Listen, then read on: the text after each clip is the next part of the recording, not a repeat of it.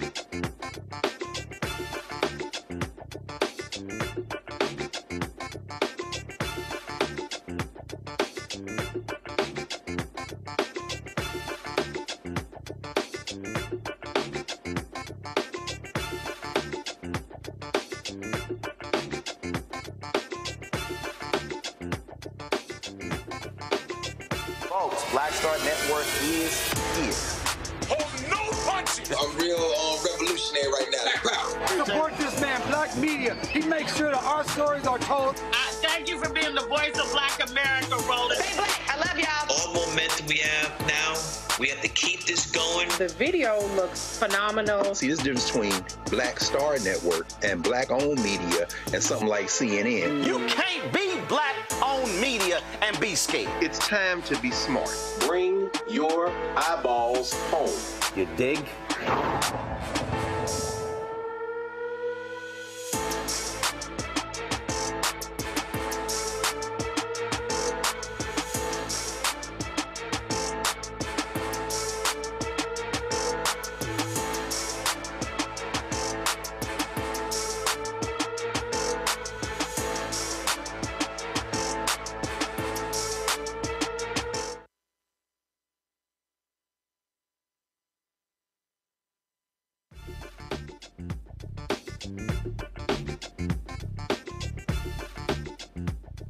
Monday, March 4, 2024. Coming up on Roland Martin Unfiltered, streaming live on the Black Star Network. Unanimous decision from the Supreme Court ruling that states do not have the authority to determine whether presidential candidates are eligible to run for office. Hmm. The Nation Justice correspondent Elie Mystal will join us to talk about how the justices went further than what the case was actually all about. You also can't believe everything you see on the internet. Conservatives are creating AI generated content aimed at black voters, showing how they just love Donald Trump. It's all a lie. Plus, NFL Hall of Famer, Pro Football Hall of Famer, Emmitt Smith blasted his college alma mater, the University of Florida, after the school uh, gutted its entire DEI department. Guess what? It's time for black athletes to say, we're not going to schools that don't support DEI. Also, we're talking to the candidates running for uh, the 18th Congressional District in Houston. Congresswoman Sheila Jackson Lee is being challenged by Amanda Edwards. We'll have both of them joining us tonight. Vice President Kamala Harris was in Selma on Sunday commemorating the 59th anniversary of Bloody Sunday. We'll show you some of what she said. Plus, in our Fit Live Win segment, we are looking at the disparities in diagnosing black people with Alzheimer's. And Dolton, Illinois City Council meeting tonight.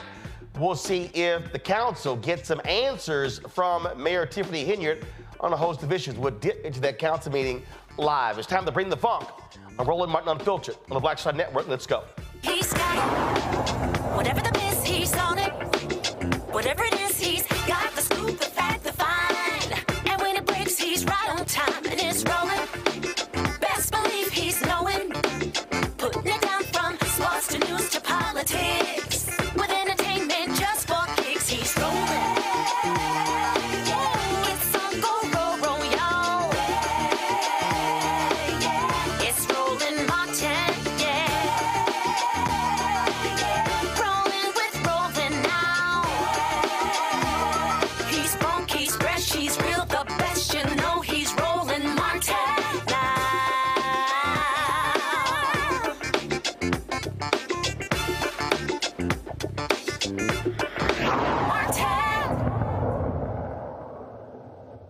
Now, unanimous decision. The Supreme Court uh, says states cannot kick Donald Trump off the ballot over his actions leading up to the January 6th attack on the U.S. Capitol. In the unanimous unsigned ruling with no dissents, well, not really, the court reversed the Colorado Supreme Court's decision, which had determined that Trump could not serve again as president under Section 3 of the Constitution's 14th Amendment. That provision prohibits those previously held uh, government positions but later engaged in insurrection from running for various offices. Joining me now is the justice correspondent for the nation, Elie Mystal. Elie, glad to have, have you here. So, just like the Dobbs decision, the conservative majority actually went further than really what was on the table, correct?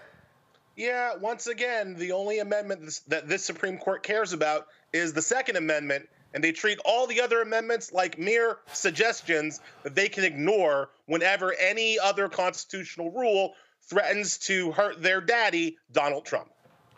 And so they determined that the only way someone can be held accountable with the Insurrection Act if Congress passes a law. That's not in the Constitution. I thought these were strict constructionist originalists. Yeah, we hope Congress may be able to pass a law, right? Look, what was on the table was whether or not the Colorado State Supreme Court could, on its own authority, exclude Donald Trump from the ballot because of his apparent and legally uh, agreed to violation of Section 3 of the 14th Amendment, which bars insurrectionists from running for office again. The Supreme Court unanimously said no. Colorado does not have that authority on its own accord. I disagree with that, but that's that's the way that cookie crumbled and it was obvious that that part of the decision was going to be 9-0 even if you just listen to the oral arguments from the Supreme Court. So then the second question is if not Colorado, then who? Right? Who can use this section of the 14th Amendment if not the state of Colorado, right? That is a question that the Supreme Court didn't have to answer, right? Nobody asked them, but they decided on their own accord to answer that question, and then they answered it poorly.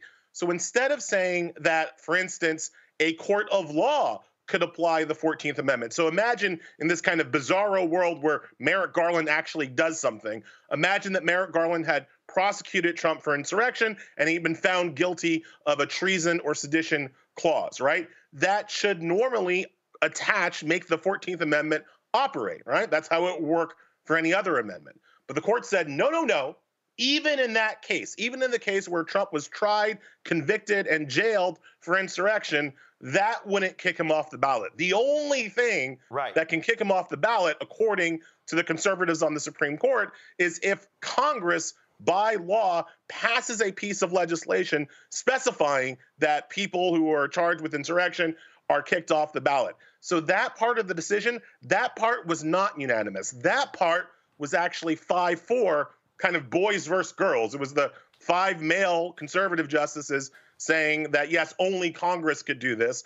And the four women, including Amy Coney Barrett, kind of saying that that's a, that was a bad ruling that the court went further than it was than it needed to in order to protect um, and, to, and in order to protect their Lord and Savior Donald Trump. And here's why that's total BS. In Arizona, there was an elected official who a judge ruled engaged in the insurrection on January 6th, and he was barred from running for office in that state. And that that's exactly right, Roland. But that but think about like take that to its logical conclusion. Who is the, the Supreme Court trying to help? And you see that the Supreme Court isn't just trying to help Donald Trump, it's trying to help everybody who attacked the Capitol on January 6th. It's trying to help Marjorie Taylor Greene. It's trying to help Jim Jordan. It's trying to help whatever local oath breaker, oath boy, proud boy, whatever white supremacist you want to call it. It's trying to help all of those white supremacists not lose any ability to run for office and continue their coup. That's where that's the extreme part of the Supreme Court's ruling. They could have kind of cabled it just to Donald Trump, but no, no, no. The five conservative men said we're trying to make the world safe, make government safe for all of the rest of the white supremacist insurrectionists should they wish to run for office in the future. That that's the real upshot of the of today's ruling. Here's also why the ruling is utter BS. Let's say Donald Trump was in his third year in the Oval Office and engage in an insurrection the Supreme Court is saying that Congress has to pass a law.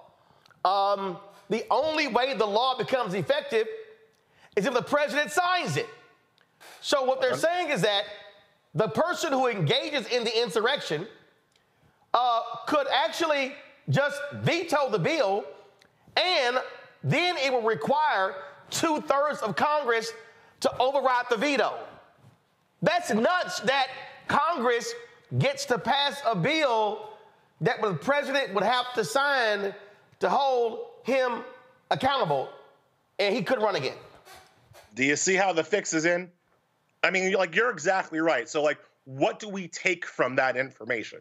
And what I take from that information is that the fix is in, and the Supreme Court is 100% in the tank for not just Donald Trump, not just Donald Trump personally, but his entire white supremacist movement.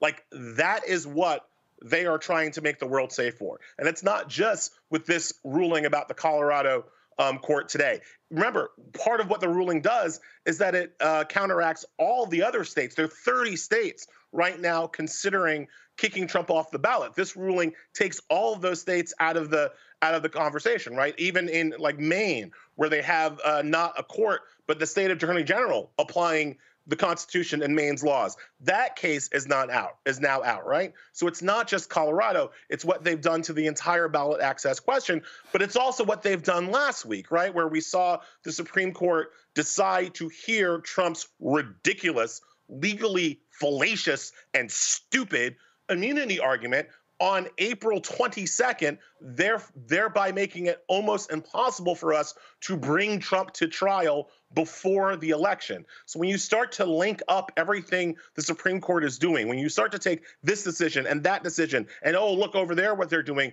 what you have is an entire kind of effort to make the world safe for a Donald Trump um, re-reformation, for a Donald Trump um, reappointment as the as the commander in chief. And that's what the Supreme Court wants, and that's what they're trying to do. Looks like Fox News right winger Will Cain isn't too happy with you. He tweeted this earlier where he said, Enough with this saving democracy junk. There isn't an institution, our constitutional republic, the, there isn't an institutional institution in our constitutional republic they won't destroy for power because you had tweeted anyway, as I said last week, the Supreme Court uh, must be stopped. Uh, and so, uh, again, not, hap- uh, not happy uh, with that. He also had tweeted this here, which I thought was uh, utterly hilarious. let me pull it up. he goes, um, here it is. Let's review what must be destroyed to save democracy voting, free speech, Constitution, Supreme Court, Electoral College, RFK, no labels, Dean Phillips, rule of law, rural white voters, southern border, separation of powers, privacy, domestic surveillance limitations. What else? Well, I say Fox News. I mean, look, Will Will Cain always looks dumb whenever somebody forces him to act without reading Skip Bayless's crib notes. And, right? he's, a, and he's, a like, so, he's a so-called lawyer like all, Will Cain can do is read what Skip Bayless tells him to do and kind of make make statements based on that, right? So he's clearly an idiot, but he didn't read my article, right? Because if you read my article, what I said in that article about the Supreme Court needing to be stopped is that we, the people, need to take every shred of power that the Supreme Court still allows us to have, which is not that much. Every shred of power that the Supreme Court allows us to have to stop them from remaking the law in Trump's and the white supremacist image, right? And that means that we have to do things like cut their budget, right? That we have to do things like cut their power, perhaps using uh, the the idea of jurisdiction stripping, which is you know a legally, scholarly, lawful idea that says that the Supreme Court is not the final arbiter on what is or is not in the Constitution. People forget there is nothing in the Constitution that says that the Supreme Court gets to make laws unconstitutional. That power was invented by, wait for it, the Supreme Court itself in 1803 in a case called Marbury v. Madison, where it called onto itself the power to declare laws unconstitutional. That wasn't in the um, that wasn't in the original Constitution. That wasn't what James Madison and Alexander Hamilton imagined when they wrote that thing. So this idea that Supreme Court that our Supreme Court should have so much power is different than a every other country on the on the planet, but also different than what the Constitution itself calls for. The Constitution says the Supreme Court should exist. It does not say the Supreme Court has the final say on what's in the Constitution. And what I'm advocating for is for people to wake up and realize that and stop letting these nine unelected, unaccountable rulers lord over all of the, all of us with their fake power. But let's also keep in mind that you have a Supreme Court that decides whether it should recuse itself from any case, and you have a Clarence Thomas whose wife was very much involved in trying to overthrow the election result, sitting in judgment and not recusing himself. But in an earlier case, Judge Ketanji Brown Jackson, I think was the Harvard admissions case, chose to recuse herself. A perfect example how liberals want to play by a set of so called rules where conservatives go, damn the rules, we got ultimate power. Right? No, the, I, I, always say that liberals think they're playing chess, right? And they they're they're gonna have all the pieces and they're like rook to e7 and that's right. And Republicans take the chessboard, fold it in half, and start bashing liberals on top of the head. I mean, like, I won the game, yo. And liberals are like, no, that's that's that's not in the rules. You, your king was knocked over. You've technically lost. Republicans don't care. Republicans are winning through force. And as long as the liberals keep ceding the ground and backing up and ceding the ground and waiting for a rule book to fall out of the sky to protect us, we will continue to lose. The Supreme Court has a budget that is set by Congress. It can be cut. The Supreme Court has a power that's limited by the Constitution. It can be cut. And until we start doing these things, these Supreme Court justices will keep wafting around the country as if they own the place. Last point here uh, this tweet went out, and I think it uh, is appropriate. This person said, Nobody has ever been more right about anything in the history of America than Hillary was right about the importance of the Supreme Court in 2016. And there were so many Democrats, so many progressives who chose to sit on their ass, stay at home because they were pissed off at her, saying that they didn't like her and, and they didn't like this. And she, she, she mentioned predators uh, and, uh, oh, uh, she was this, that, and the other, and she didn't go hard enough against her husband, and all this sort of stuff like this. And what ends up happening? Conservatives get three Supreme Court justices. They block 100 federal judgeships uh, from uh, Barack Obama. And what do we get? Affirmative action decision, this decision, Roe v. Wade being overturned, and all because, let's be clear, there were some people, black, white, Latino, Asian American, men, women, gay, straight, who were like, I just don't, Hillary, I just don't get it. And Republicans were like, we got no problem electing the thug because he's going to do what we want him to do. Look, there are three branches of government, and I keep trying yep. to get people to realize that is it is the third branch, the Supreme Court branch, that has a veto power over the other two branches. Yep. So if there is anything you care about, whether it's gun safety, whether it's environmental regulations, whether it's police brutality, whether it's financial regulations, whether it's uh, issues about uh, access to justice, whether whether, whether whether it's billions to black farmers, whether you actually say you support reparations, guess what? That's going to go to the Supreme Court. All of it ends up on John Roberts' desk. And as long as John Roberts has five other conservative votes, John Roberts and the other conservatives will continue to do whatever they want. It doesn't matter about your arguments. It doesn't matter about your votes. It's six votes that matter, not the votes of 330 millions, million Americans, right?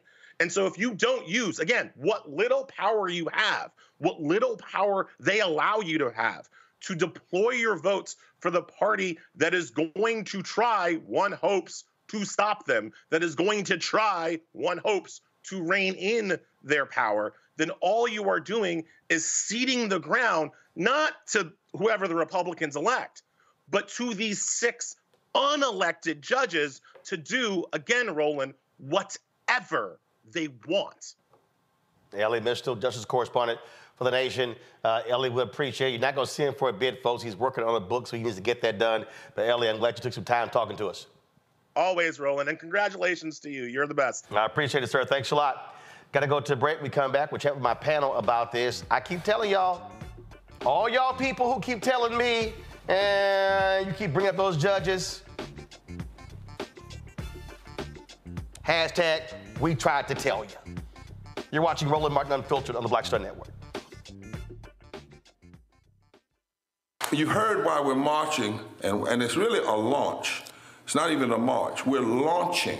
That's right. A 42 week campaign. March the 2nd at 10 o'clock in Raleigh and 33 other state capitals right. and the District of Columbia.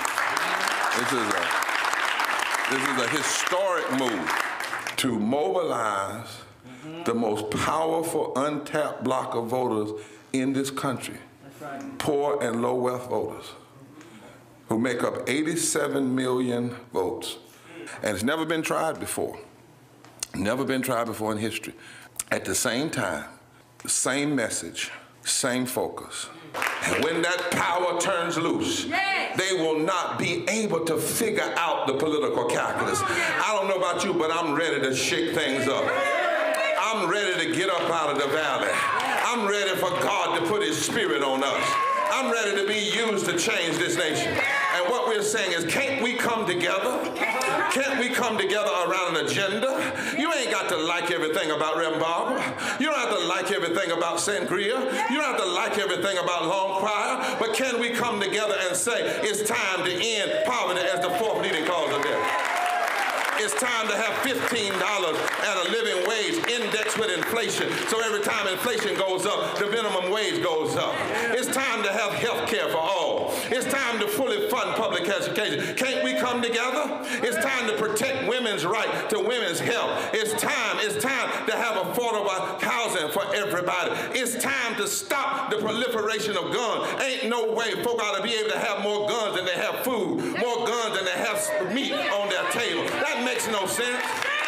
Isn't it time for division to be ended and love to take over? Can't we organize around that? Look at your neighbor and say, neighbor, I don't need to like everything about you.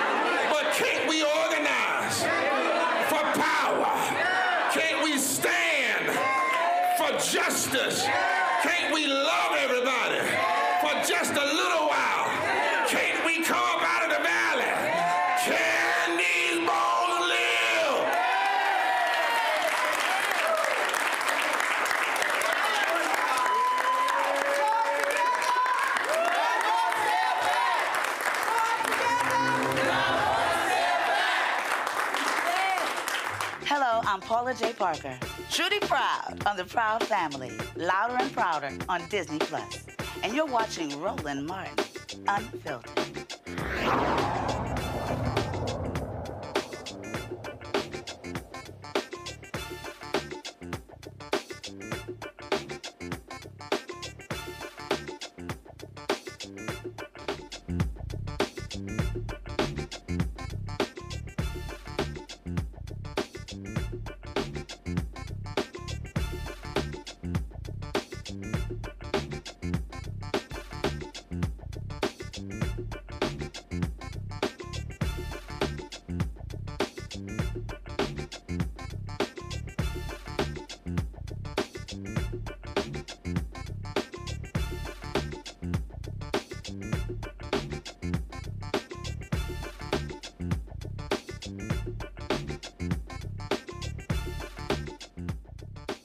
Right, folks, uh, let's go to my panel. Uh, joining me right now is Dr. Julianne Malveaux, economist, president emeritus, Bennett College, author out of D.C., Dr. Omekongo Dibinga Sr., professorial lecturer, School of International Service with American University, also out of D.C., Renita Shannon, former Georgia State Representative out of Atlanta. Glad to have all three uh, of you here. Uh, Renita, I- I'll start with you. Uh, I- I'm going to keep pounding this over and over and over. And I've got some simpletons out there who keep telling me, again, I I love the, the nonsense. Ah, man, you a shield for the Democrat. You keep trying to make us vote for Democrats. Take party out. Focus on issues. Money for black farmers. Affirmative action decision. Civil rights. Voting rights. Section 4, Shelby v. Holder. Section 2, uh, e- uh, environmental rights. Environmental racism. Federal judge down in Louisiana ruling against Cancer Alley. A circuit out of Arkansas saying third party groups don't have standing when it comes to filing voting rights lawsuits. Federal judge in Louisiana tells the state get those juveniles out of Angola prison. Federal judge in the panhandle in Amarillo rules against the Plan B abortion bill. I can go on and on and on and mention numerous laws that a local, state, and national at the federal bench rules against. And so, for any fool who tells me at the 150 plus judges that Biden and Harris have appointed, a significant number are African American, a significant number are black women, do not matter, they have got to be stupid. This ruling today is something that is really at odds with what conservatives have been fighting for, because for the last several years or so, they really have been fighting about how states' rights are really important in various different areas, and one of them has been in controlling elections. And so we've seen fights here where conservatives have been making the point that the federal government should not be making decisions on what happens in elections, and that is a job at the uh, state level of the Secretary of State. So this ruling today is very interesting, where you mentioned before that you know they went a little further than they should have gone. Um, the Supreme Court went further on the Dobbs decision, and once again now they've gone further than what they were originally asked except this time it's going to be at odds with what conservatives want. Now, what I think is very interesting is what Elie talked about, which many of us know and have felt at a visceral level, which is the analogy that he said about the chessboard, where Democrats are um, thinking that they are playing chess, and Republicans really don't care about the rules of the game, and they are just willing to take the chessboard and beat the Democrats over the head. We have got to get tougher. My question is, does the does the Biden administration understand how important the Supreme Court is? Because many people were asking the Biden administration, President Biden, directly to expand the court when he had when we had full power in the first two years, and that was something along with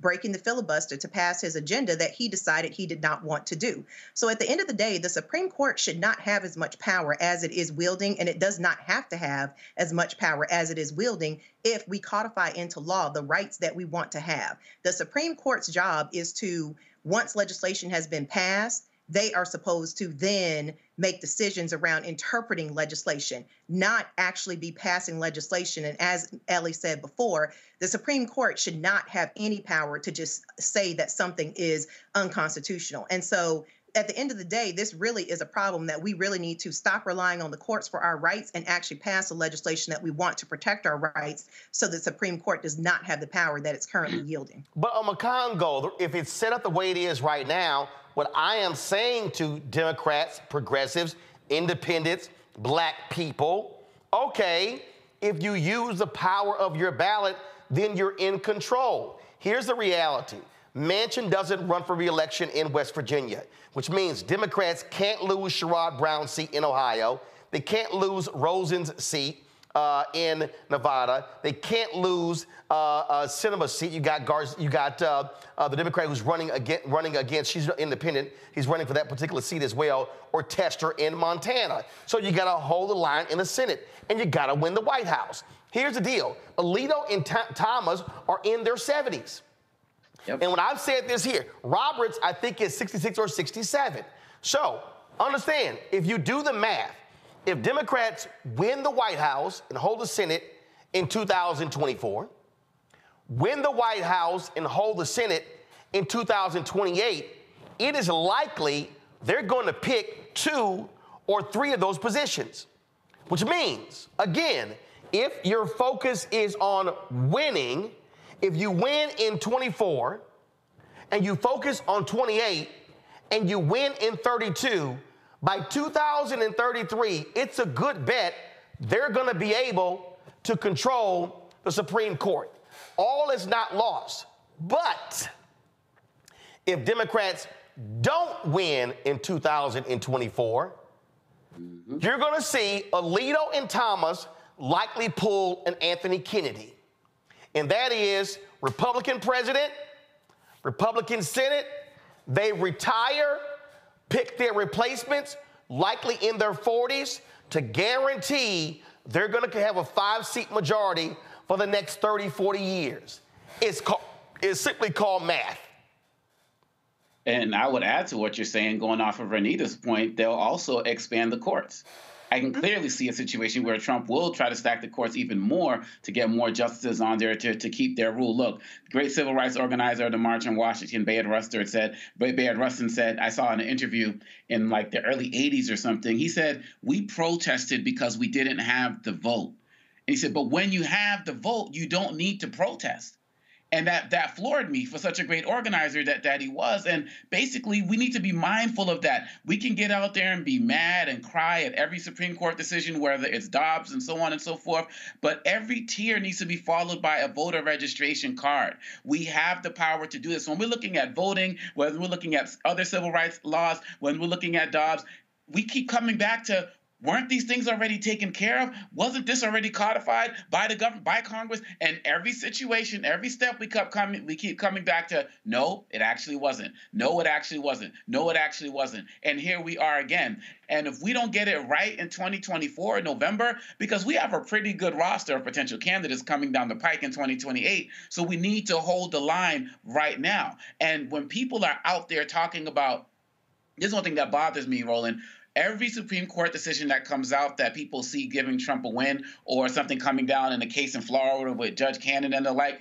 we need to stop getting angry and we need to use that as more motivation to get out and vote. What these courts are telling us is that do not depend on us. If you want to save whatever flawed democracy it is that we have, you have to go to the ballot box. And unfortunately, so many of us are seeing these judgments happen and they're just throwing their hands up and saying, oh, Trump wins again. See, you, you the rich don't have to worry about it. They're above the law. And we have to do the exact opposite because just like you talked about 2028 going into 2032 and the like you know i have children ages 9 to 17 and the prospect of them having to live under this particular supreme court or who might come after that if trump gets into office it's, it's it scares me and so if we don't get it now, and we say this every election, Roland, right?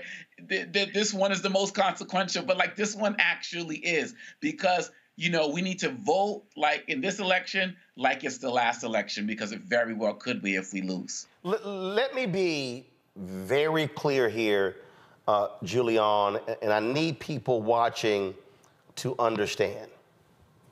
I've never in my life identified as a Democrat. I didn't. I've never in my life identified as a Republican. When I voted in Texas, I had to pick which primary to vote in. So, I if there was a if there was a local if there was a candidate that I supported, I did. I remember one year I voted in the Republican primary because there was a there was a, a county judge in Tarrant County who was a brother who was a solid brother who was in a Republican uh, county, and I wanted to make sure that he stayed on the bench. So I voted in the primary. I remember when in Dallas County, where Dallas is, the county flipped from blue to red. And I remember uh, Judge Creuzot, he was a longtime Democrat. He had to run as a Republican to get reelected. When the county flipped back blue, he ran as district attorney in Dallas County and was elected. Why am I describing all of that? It's because that's playing chess. That's looking at the board and understanding okay, how do we play this? And so, when I look at policies, not people, I look at policies. When I look at HBCU funding, when I look at housing, when I look at Republicans, uh, how Republicans um, wanted didn't wanted to cut the 80 billion dollars that was allocated to hire new IRS agents and uh, the story that uh, Rolling Stone did shows that, that, that thousands of rich Americans from 2017 to 2021 just didn't even file taxes. Just didn't even file taxes. They're like, yeah, we ain't got to.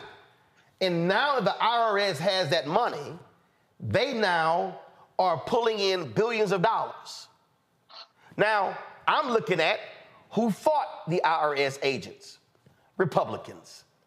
Who fought for the money? Democrats. If I'm looking at who is understanding climate change, Republicans fight against it. Democrats fight for it.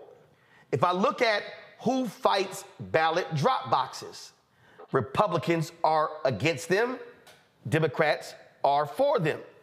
If I look at who supports voter ID, who supports closing voting locations, who passed laws so you couldn't hand out water while people in line, Republicans voted for those bills, Democrats opposed them. So I, as somebody who looks at policy, can sit here and go, huh, I want to make sure that these crazy, rabid MAGA Republicans are not in power. And so if you have Democrats who are not perfect, who do not get a 100% score rating on everything, but when it comes down to those two, who is likely going to side with I stand and black people, it's going to be Democrats. So I'm now sitting here going, if it means having progressive black and black female federal judges, I need Democrats to control the Senate and the White House. And do the math 930 federal judges. Trump appointed about 237 or 242. 100 of them should have been Obama. Biden and Harris has appointed, I believe, 150 to 165. Do the math. If Democrats win in 2024, they will appoint likely another 200 federal judges. Now you're up to 360. If Democrats win in 2028, they will appoint likely another 200 judges. Now you're at 560. That means that Democrats will have appointed half of all federal judges. That is playing chess and not just looking at today. You know, Roland, I, I always crack up when you say people accuse you of shilling for Democrats because I think nothing is further from the truth. You're critical of, frankly, everybody, um, but you're, you're critical from a principled policy perspective, not from a partisan perspective. And so these accusations, like you said, if people don't read, they're not thinking, um, and and yeah, let's just leave it at that. I don't want to go low, uh, but I will if I have to what we need to understand, as you say, it's it's not just chess and checkers; it's pure arithmetic. Um, Merrick Garland was denied a Supreme Court position on this yo okey doke rule that Mitch McConnell made up that said you don't appoint judges in the last uh, year of a presidency.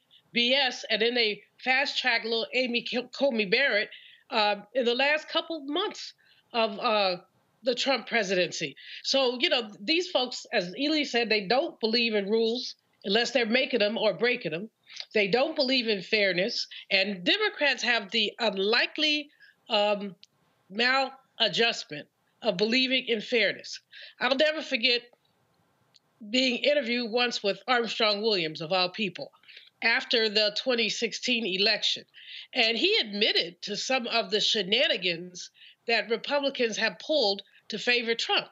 And there was a third woman on this panel, and she said, "Well, don't you care? Uh, it's not fair." She says, "He said I don't care as long as I win," mm. and that's basically what their mantra is. As long as they win, they don't care whether it's fair, they don't care whether it's right. They just want to win. They will swallow their sense of fairness. They will swallow their pride. I mean, you look at. I'm just waiting for a little Nikki Haley to start um, licking Trump's boots. Um, I hope she doesn't. She showed enormous spunk. But what we've seen is person after person after person. Chris Christie, um, you call the roll. Ron DeSantis, call the man everything but a child of God until he's folded and he said, Oh, I endorse the Orange Man. So basically, we want to play principles, they want to play unfair, and only after the fact do we say anything. Hillary was so right about the Supreme Court, but you know, there's so many people who did not care, didn't think the court made that much of it, didn't like Hillary. Tell people that she's not coming to your house. Don't worry about it. Um, you know, we basically are not being strategic, and it is very late in the game. It's March. We've got another seven, eight months before the election. Uh, it's March. And, you know, people are still sitting here dithering about whether Biden is too old. Um, they're dithering about, you know, the border. The Gaza thing is very important, but do you really think that the Orange Man will do better with the Middle East than Biden will? Do you really think that he'll do better with the border than Biden will? Democrats are flawed, people are flawed, parties are flawed. But what, what we know, and I've voted well, I don't think I've ever voted for a Republican, actually, to tell you the truth. Um, it's just my hand just kind of locks up or something. But um, I voted for independence.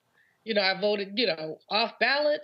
Um, in local elections, oh, I still haven't voted for a Republican.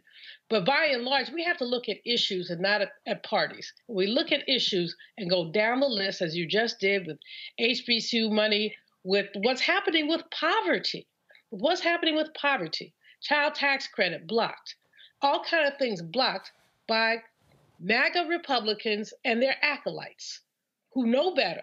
That's the worst part about it. Know better, but won't do better. Mitt Romney, decent enough guy, I couldn't vote for him, but he rather than fight the orange man, he says he's not going to run for another term. We so many see so many so-called principled Republicans throw their hands up and say, "Oh, I don't want to fight like that." Well, how do you want to fight? How do you want to go down? How do you want to go out? Because what we're going out basically destroying our country.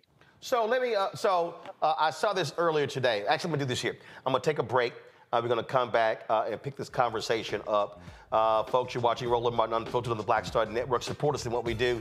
Uh, folks, anybody else having this, this real conversation? Ain't not MSNBC, not Morning Joe, not Nicolle Wallace, not none of them. And so support us in what we do. Join our Bring the Funk fan club. Your dollars allows us to be able to fund this show, fund the other shows of the network, to be able to do the work that we're involved in. Send your check and money order to PO Box 57196, Washington, D.C. 20037-0196. Cash App, dollar sign RM Unfiltered. PayPal or Martin Unfiltered. Venmo is RM Unfiltered. Zelle, Roland at RolandSMartin.com. Roland at RolandMartinUnfiltered.com. We'll be right back. For the last 15 or maybe 16 years, 18 years, I'll say, since I when I moved to LA, I hadn't had a break. I hadn't had a vacation, probably a week vacation here or there. Right. This year, after I got finished doing Queen Sugar and we wrapped it out, because I knew I had two TV shows coming on at the same time, mm-hmm. I said, I'm to take a little break. So I've been on break for the first time, and I can afford it now. Praise Got it. God. You know what I'm saying? Right, right. So I can afford it. I'm like, I can Right. sit back and ain't got nothing to worry about, man. But this was the first time in almost in, in two decades wow. that I've actually had time to sit back and, and, and smell the roses.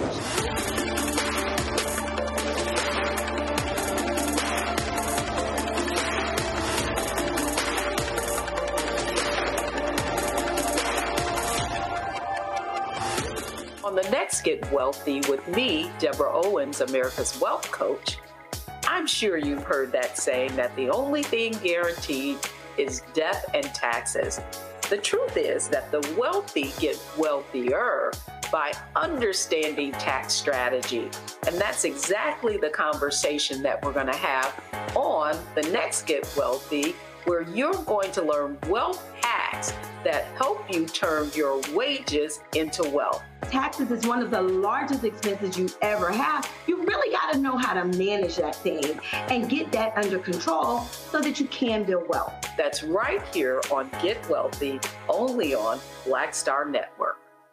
Hello, I'm Jamia Pugh. I am from Coatesville, Pennsylvania, just an hour right outside of Philadelphia. My name is Jasmine Pugh. I'm also from Coatesville, Pennsylvania. You are watching Roland Martin Unfiltered. Stay right here.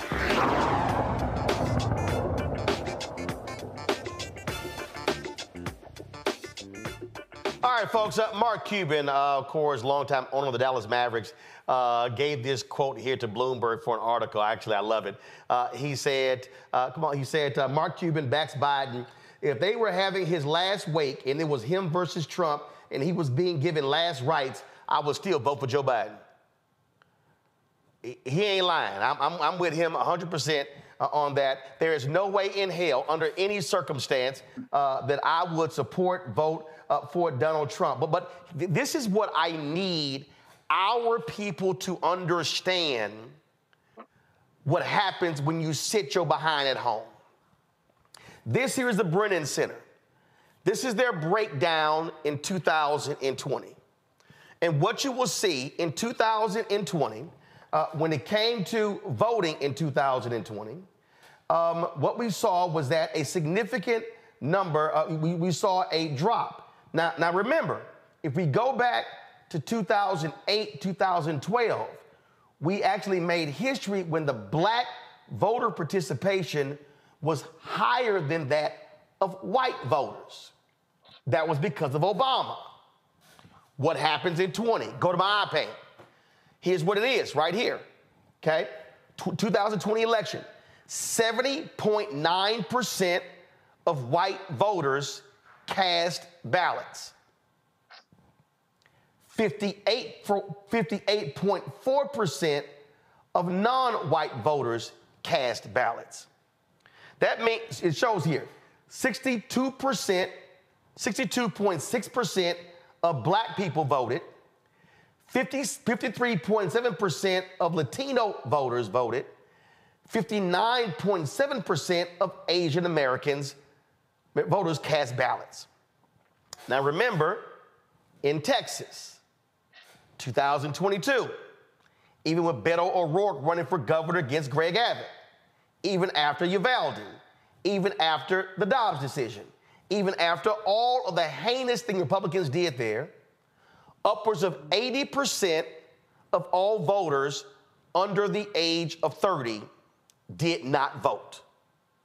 And so when y'all hear me make the argument that black people, because we only make up 14%, 13, 14% of the country, we can ill afford to be at 62.6%.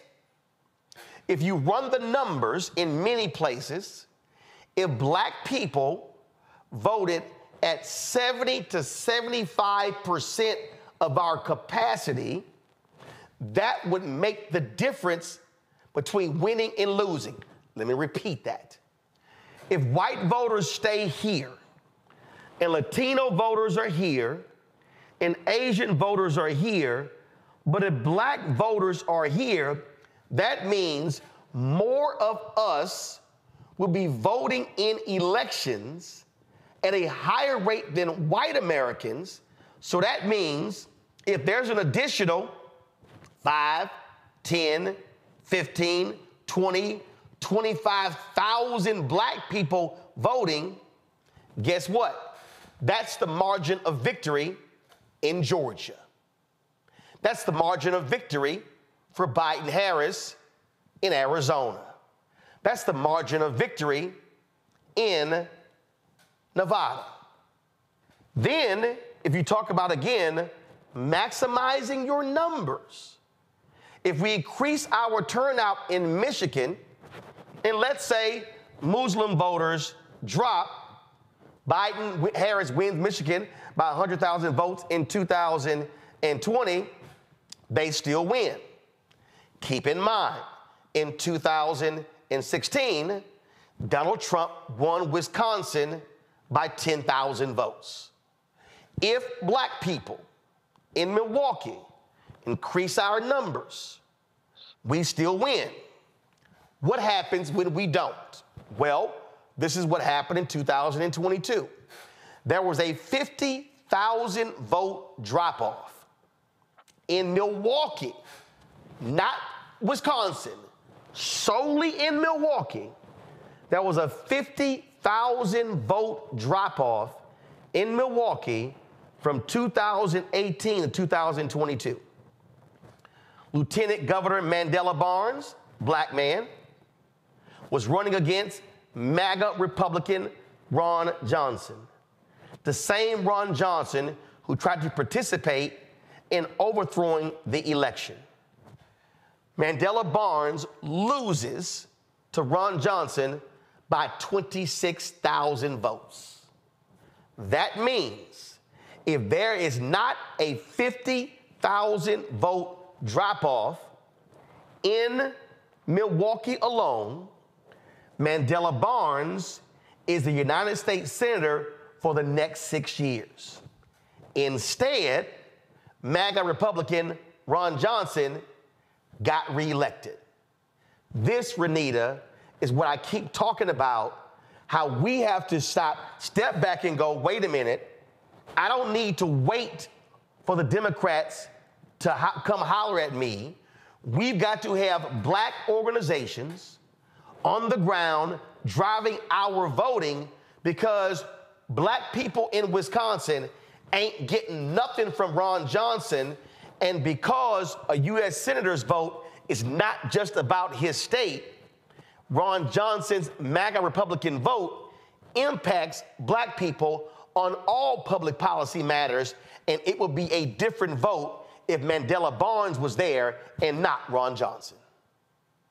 Well, everything you're saying is correct when, as it relates to turnout is how you win elections. But the part that I feel like is not coming, that you're not quite uh, putting focus on, that what really needs to have focus on is that that turnout only comes if voters feel like that they have something to vote for and if they are satisfied with what they are seeing as far as what is being promised and if they believe that that candidate is going to do it. This is not solely a black people voting problem because white people do the same thing. And I say that because what the left is going through right now is the same thing that the right went through a couple of years ago. We all watched it happen. Republicans used to run candidates like Mitt Romney. When Trump showed up on the scene, he was able to activate an entirely new voting base of white people who previously were sitting at home and were not voting. Millions of white people who were not voting because they did not see themselves reflected in the candidates that were on the ballot. When the Republicans saw how successful it was to move forward with Trumpism, they all turned into a bunch of Trumps. And now you don't see them running candidates like Mitt Romney. And it's probably one of the reasons why he is retiring because it's getting harder and harder to stay to stay. So I bring that all up to say, just like the right had to learn, you got to have candidates who are reflecting the base of your party and your coalition and proving every day that you are serious about doing the things that you have been elected to do. And you can't have inconsistencies when people are able to check your record the left has got to learn that as well. And I think that we are right in the process of that happening. But, I guarantee but, but, you, if Republicans ever went back to running candidates like Mitt Romney, they would lose too. So this is not solely a black problem of black people not voting. Right, you're right in the turnout, but we are spending too much time. It's important to make people understand who Trump is. People know that. But we're spending too much time framing this up as uh, a voters making a choice between Trump and Biden. They're not. They are making the choice between voting and not voting. That is the choice. So, but, but, but here's the but but but oh, Omekongo. But this is the point I'm making. I don't. I ain't dealing with white people. I ain't dealing with Latinos. I'm not dealing with it. No, no, no, no, no. Follow me here. Follow me here. I'm not. I'm. Not, I got. I don't have white folks in my equation. Latinos or Asians. What I have in my equation are what as we as black people care about. So when I'm talking about turnout, I'm also talking about black candidates. I'm talking about how they're going to vote. I'm talking about understanding and looking at power. When I look at, and again, I know what they're saying privately. I, Chris Christie, Rudy Giuliani, all of them, they couldn't stand Trump. Omekongo. Yep. They knew he was the idiot, but they understood power. And what I am arguing is, not, and, I, and what I'm speaking about ain't just Biden Trump. Cheri Beasley loses by 401 votes as the Chief Justice of the North Carolina Supreme Court. Had Cheri Beasley won, Democrats would have a six to one majority on the state Supreme Court. Why does that matter? Because by them controlling the state Supreme Court, they get to stop the madness of the Republicans in the legislature. And so, if we look at again our voting power, I'm looking at what can we stop. I'm not interested in complaining after the fact. Is black people right now in Louisiana who are complaining about Governor Jeff Landry. But guess what? Look at the numbers of turnout. And so, turnout means that I am voting not just for person or for party. Yes, I'm voting against evil because of what it may do, and I'll give you an example. President Obama, Okama, Omekongo, wins North Carolina by 14,100 votes in 2008. The Obama coalition stayed home in 2010. North Carolina used to have one of the lowest voter participations. It was at 78% in 2008. What did they do? They stayed home in 2010. Republicans took over the legislature, began to pass voter suppression laws. Here we sit some 16 years later, and in North Carolina, they are still trying to claw back to where they were in 2008. I'm saying we got to be thinking multi year, multiple battles here, and not stay at home. Omekongo, go ahead. Well, absolutely. I think one of the challenges, you know, we, we definitely have to talk about, you know, you know, appeals of, of candidates and the like. But Republicans fall in line while Democrats wait to fall in love. And I think too often Democrats have this mindset of, you know, I don't really love the candidate, so I'm not really going to mess with them. And they and they're they're not thinking strategically enough. And so even if Mandela Barnes wasn't somebody who people felt was, you know, a charismatic enough candidate or wasn't really going to represent their issues, the courts are an issue voting rights is an issue. Look where we are with Dobbs now and, and other areas like that. Those are issues that we could have had principled enough people on in the Senate or you know who, who, we could have had you know to get to the Supreme Court and other areas if you know Hillary came into office who could have prevented some of the major challenges that we're dealing with right now. And furthermore, when you talk about the Brennan Center report, they talk about that what they're calling you know that that that voting gap, you know, that racial voting gap, and they're talking about since uh, Shelby v. Holder you know came into place in 2013, right? You know the the the disparity between white and black voters has started to grow in ways that that have been worse since before Obama came into office. And so, again, that's also a court's decision. And so, too many times in our community, we find ourselves confronted with things that if we developed a certain level of uh, sophistication enough, we could understand that if we tackled these things in the past, we wouldn't have to deal with them now. Like when you talk about in Milwaukee, where 50,000 people just don't show up, or you talk about 2010, 2010 in North Carolina, these are issues that are leading towards real problems now. And so, on some levels, given everything we've had to deal with with the courts just in the last two years alone, we have to develop a certain level, like Hillary talked about. We have to be a kind of single minded voter as it relates to what's coming forward in 2024. We can talk about, you know, Palestine and, and issues relating to Biden's policies there. We can talk about issues relating to healthcare and other things. But who is going to be in power to create a court system that's going to affect our agenda for generations? Period. bottom line, and that's where Republicans have always been. And I and I appreciate what Renita's saying in terms of you know what the Republicans went through and how they switched their candidates and all of that type of stuff. I understand what she's saying, and we need to go through that a little bit as well. But when we're dealing with this existential threat to our very well-being in this country, there's a certain level of, uh, and I'm not saying compromise principles, but there's a certain level of strategic mindset that we need to have and who we're going to put in office period bottom line and so we got to increase the numbers if we really want to take part in this american experiment uh, julianne um, again i'll use an example i was there on the ground for the special election in mississippi where mike espy lost to Sen- senator cindy hyde-smith by 65000 votes mm. and there were a significant number of black people in mississippi who were eligible but did not vote. And not just them, there were a lot of poor white people, eligible, but did not vote. But I'm gonna take them off the table.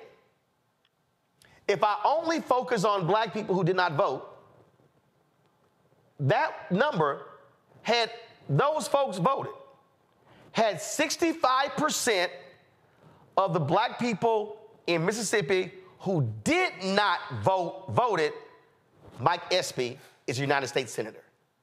That changes the game in Mississippi. So, so for me, I, am not sitting here, I, am not having a conversation of what white folks doing. What I'm saying is when I look at the numbers and when I look at how we change black participation, black registration, black turnout, if everybody else stays the same, we can win elections across the board. Well, Roland, you've made the point before, and it's useful for us to re examine that point again about the racism in the Democratic Party and the extent to which many of the Democratic operatives do not pay attention to the black electorate. While everybody has a responsibility to get out and vote, if you look at a Mississippi and a Mike Espy case as an example, who are the operatives? Who was doing GOTV? Who was going door to door? Who's who was basically telling people now people should not be told you have to vote. But we know where we are. And so it seems to me that all too often the Democratic Party does not pay attention to their base, which is African American people. They do not spend money on African American operatives, on GOTV, on polling, and all of that. Cheri Beasley could have won easily had she done a few very minor tweaks, but she had the white boys from the Democratic Party telling it's her seven o'clock. how to But- work but- North Carolina.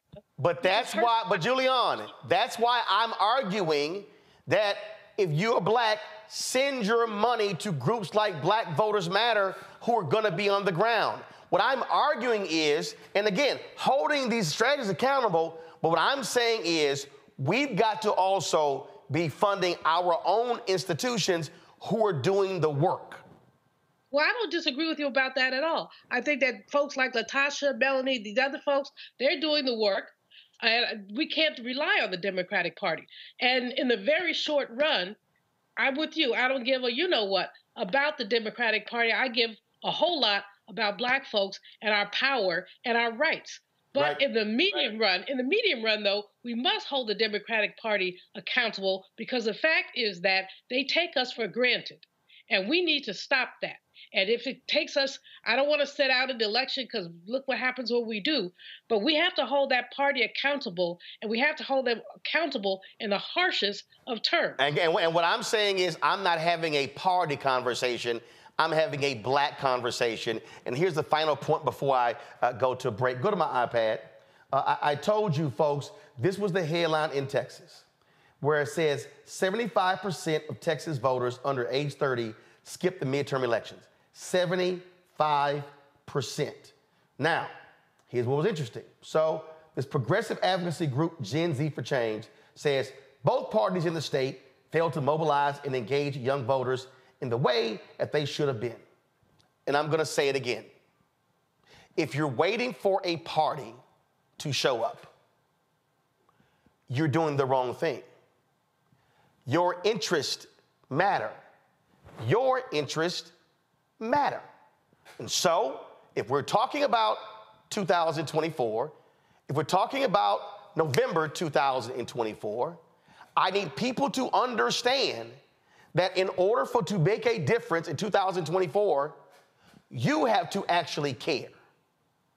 And if you're in Georgia, North Carolina, Pennsylvania, Wisconsin, Michigan, Arizona, Nevada, those are likely going to be the states that determine who wins the presidency.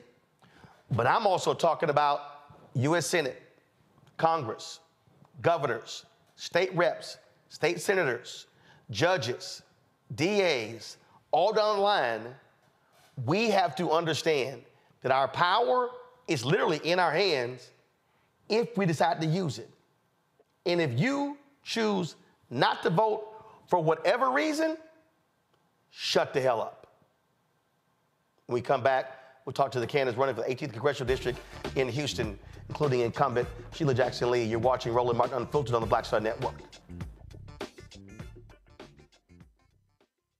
You heard why we're marching, and, and it's really a launch.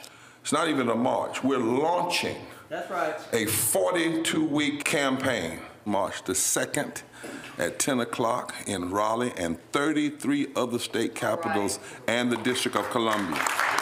This is a this is a historic move to mobilize mm-hmm. the most powerful untapped block of voters in this country. Right. Poor and low wealth voters who make up 87 million votes. And it's never been tried before. Never been tried before in history. At the same time, same message, same focus.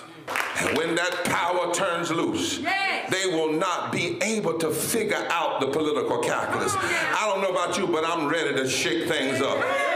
I'm ready to get up out of the valley. I'm ready for God to put his spirit on us. I'm ready to be used to change this nation. And what we're saying is, can't we come together?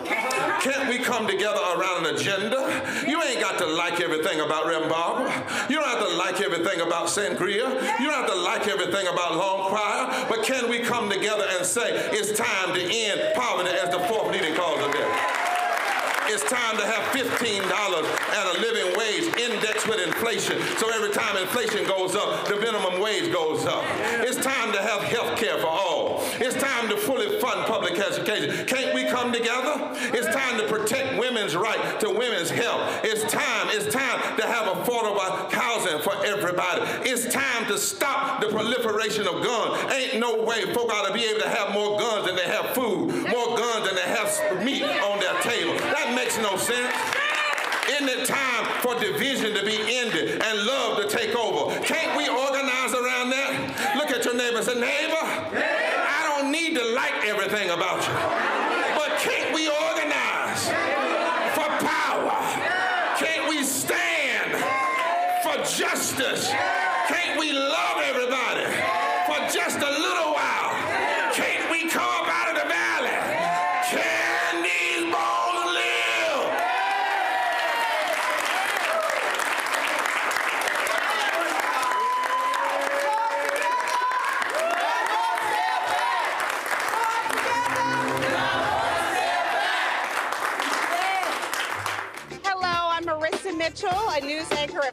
at Fox 5 DC. Hey, what's up? It's Tami Roman, and you are watching Roland Martin Unfiltered.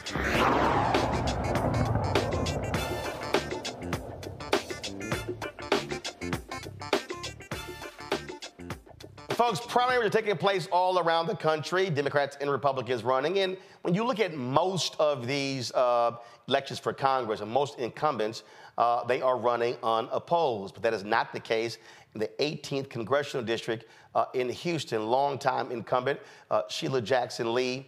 Uh, she is running for re-election, but she's also uh, facing a challenge from former Houston City Councilwoman Amanda Edwards. Those two are battling off in Texas. They go to the polls uh, tomorrow. Uh, challenger Amanda Edwards joins us right now. Uh, you were initially running for mayor of, uh, uh, of Houston, and then Congresswoman Jackson Lee got in the race, and then you dropped out, announced that you were running for Congress. She lost by 30 points to State Senator John Whitmire. He's a new mayor. She's not running for her old seat. So the question is, uh, what are your plans what, what do you want to bring to the 18th congressional district? Because you want them to choose you, not the incumbent. What will you do for the district? Well, first of all, thank you for having me. And I think when I go around the district, uh, what has been resoundingly clear is that people are ready for change. And they're not just looking for everyday change, they're looking for transformative solutions to some of these lingering challenges that they have faced year after year, whether it's access to health care, economic opportunity, if you're talking about housing, many of the issues that are really kind of meat and potatoes issues, people looking are looking for transformative change, which they can get through policy solutions. I think separate from that, in addition to being able to respond to the existing challenges, people are looking to have a leader who has a vision for the future of this community. So, bringing bold solutions to the table and a bold vision that includes everybody in it having the opportunity not just to get by in the community, we want them to thrive in the community. And having a pathway for success for each and every single resident is part of that vision. But I'll ask again what specifically, again, if you're doing a contrast between you and the incumbent, what will you bring to the district that she won't? Well, one of the things that I think is imp- important to note is that a lot of the change that we're looking for, the transformative change that we're looking for, really requires systems change, uh, policy fixes. And it's not been something that has been the emphasis or focus of the Congresswoman in the past 30 years. We have seen quite a bit of constituent response and advocacy, and certainly you've got to do that too. But I think there is another realm of this role that really requires us to really get serious about systems change. When you look at how infrastructure dollars works in a city like ours that had the second worst disaster in US history and the fact of the matter we've set up systems that have failed our people. And so I want to implement systems change through policy. But but, but, but, but, but I got to ask you though when you say that because we understand how it works. And so if you're getting congressional dollars typically they're coming back to states community development block grant funds. Uh, and then that's going to the Republicans uh, in Austin. We saw what happened with hurricane uh, money that came to the state, uh, and Harris County got screwed out of a billion dollars. And so you can be a member of Congress and fight for those federal funds, but if the money is going to Republicans in the state, they get to control how, it's di- how, it, how it is dispersed. And so, how, as one member of Congress, and if you get elected, you're going to be a backbencher. How do you actually create that change? So you, you've highlighted exactly what I'm talking about. That system is flawed. It doesn't work. And so having and redesigning a system that doesn't send the money to GLO. You don't have to send the money to GLO. We can legislate something different, a different system in the first place. Why introduce a, a the politics of Texas into a space like uh, what's needed on the ground in Houston as it relates to infrastructure investment? I'll back up why do we even have to sit here every time there's a disaster in this country? Every year that there's a disaster, there's a new a new, new law that has to get passed, new rules that have to get promulgated. Meanwhile, you've got residents who need answers immediately that you cannot provide because we've designed a system that doesn't make sense.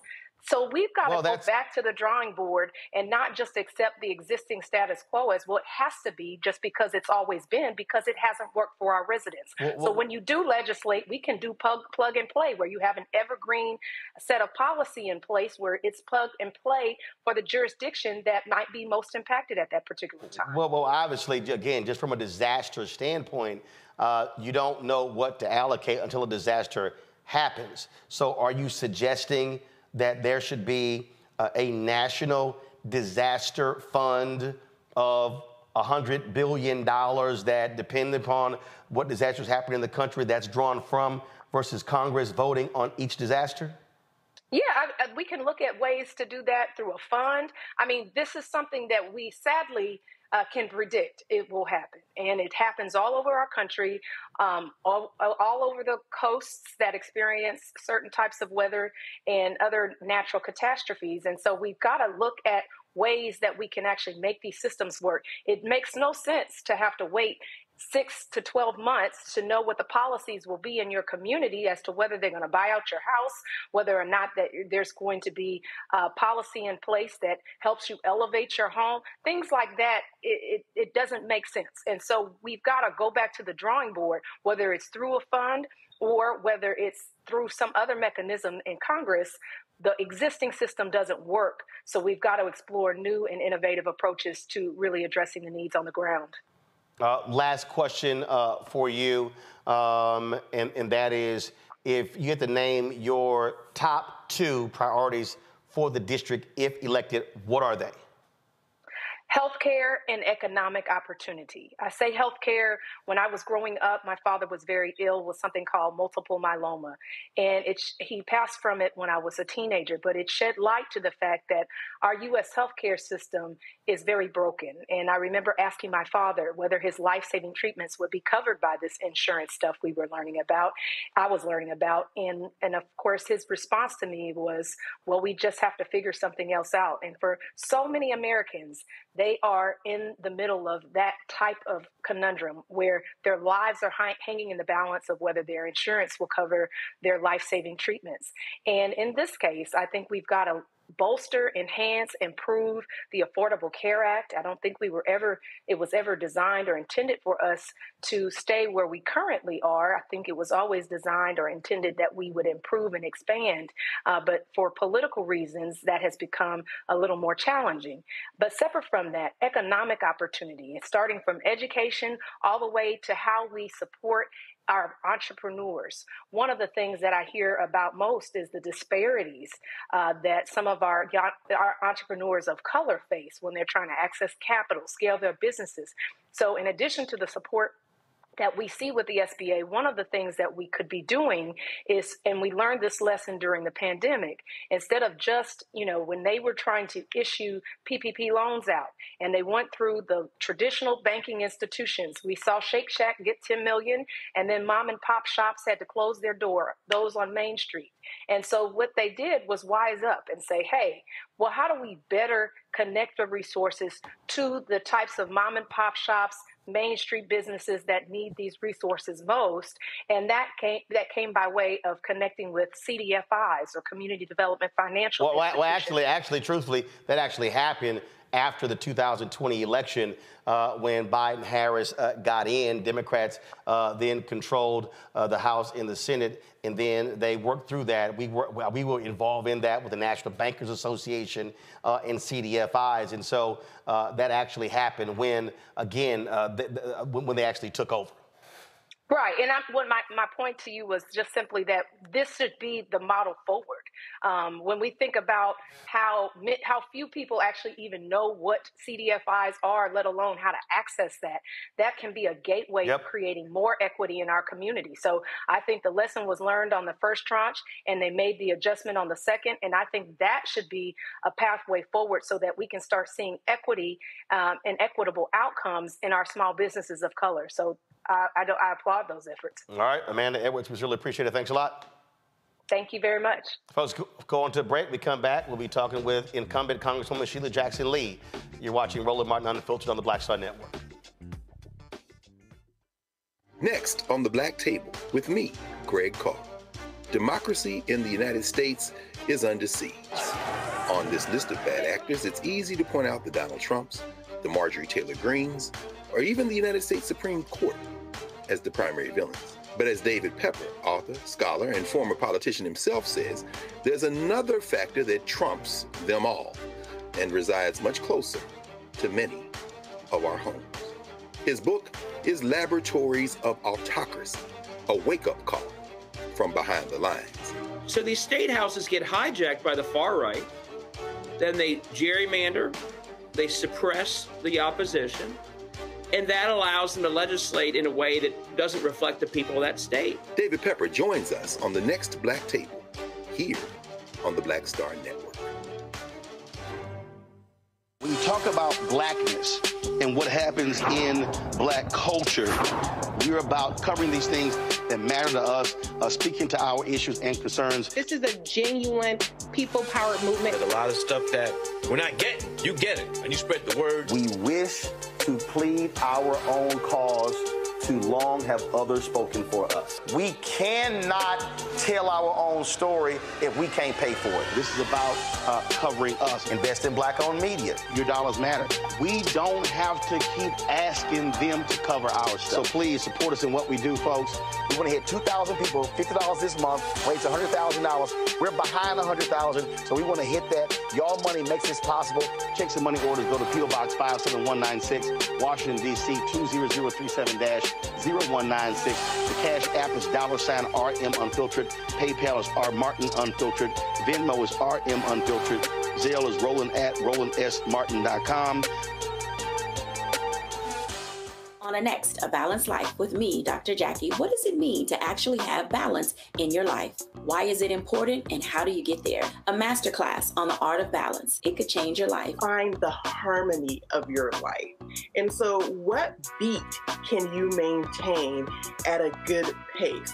What cadence can keep you running that marathon? Because we know we're going to have you know, high levels, we're going to have low levels, but where can you find that flow, that harmonious pace? That's all next on A Balanced Life on Black Star Network.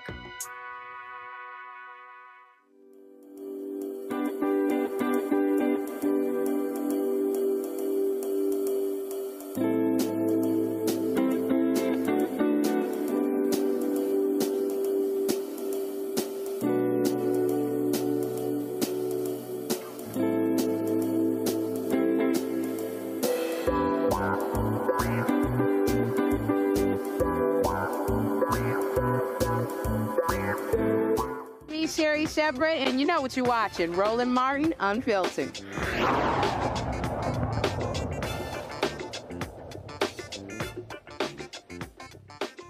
Don't believe the BS. Black people ain't down with Donald Trump. A Florida conservative radio host says he and his team are responsible for the AI generated images of Donald Trump posing with black voters.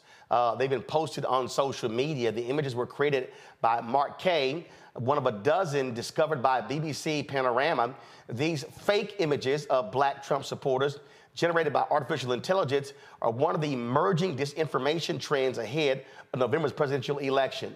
Uh, it, you know, this goes to show you, Omekongo, they, they cannot attract black people, and so they got to create fake, fake black people. Uh, and if you look at one of the photos, uh, one of them has too many fingers in it.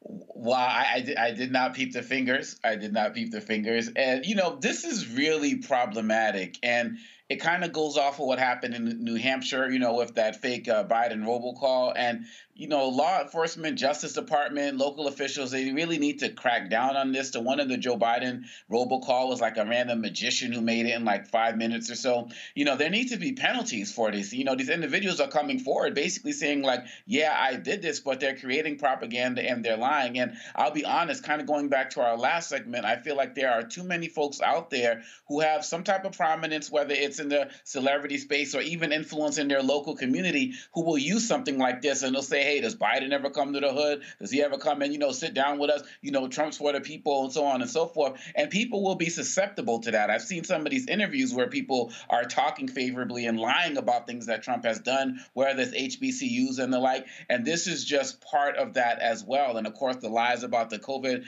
you know, related checks and the things like that. And so we need to call these people out who are doing this once they're found out. So I'm glad that you're doing this here. There needs to be fines because this is another form of election interference.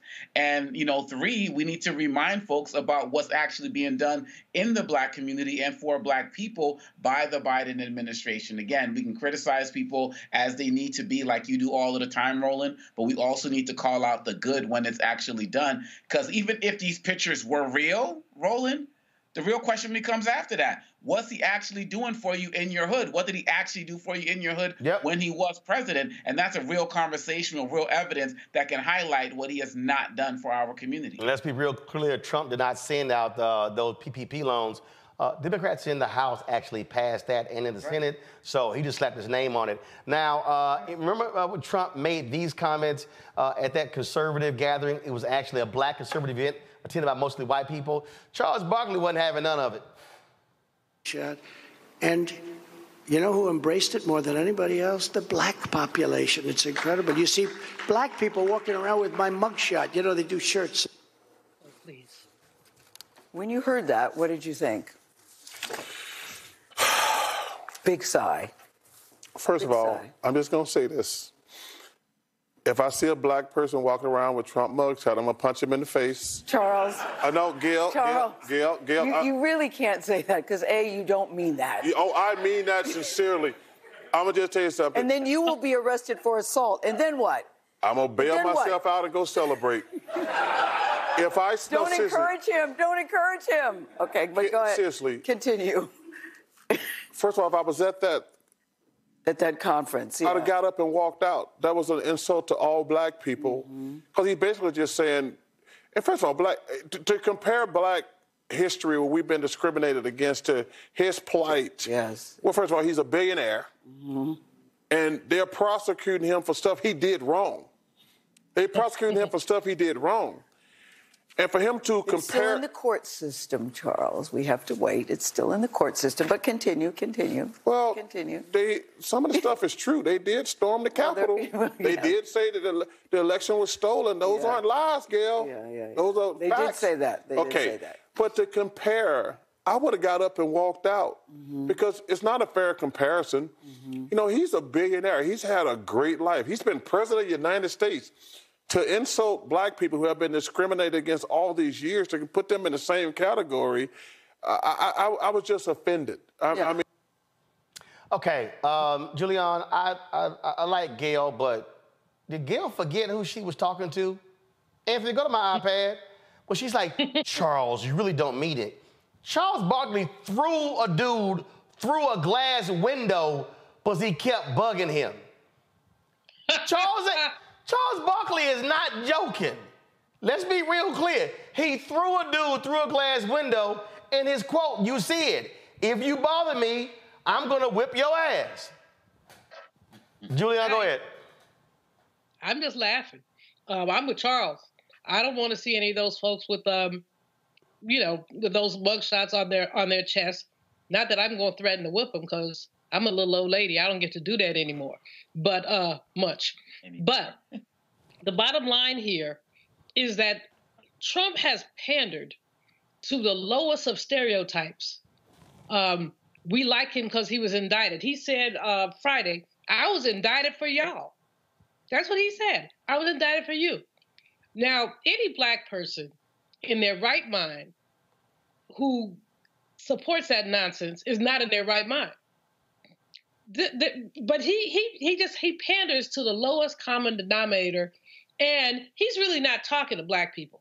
He's talking to white people who think the same thing about black people. He's really talking to his base of MAGA conservatives, but he's using black folks as a smokescreen. Well, the fact is that we allow that. Now, all those people who are in those pictures are AI generated.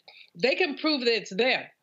They ought to sue because their likenesses were misused. I know that AI is a whole area that I'm not going to touch because I don't fully understand it. But you know, we do know that you can manipulate images, you can manipulate voices, and they've done quite a bit of this.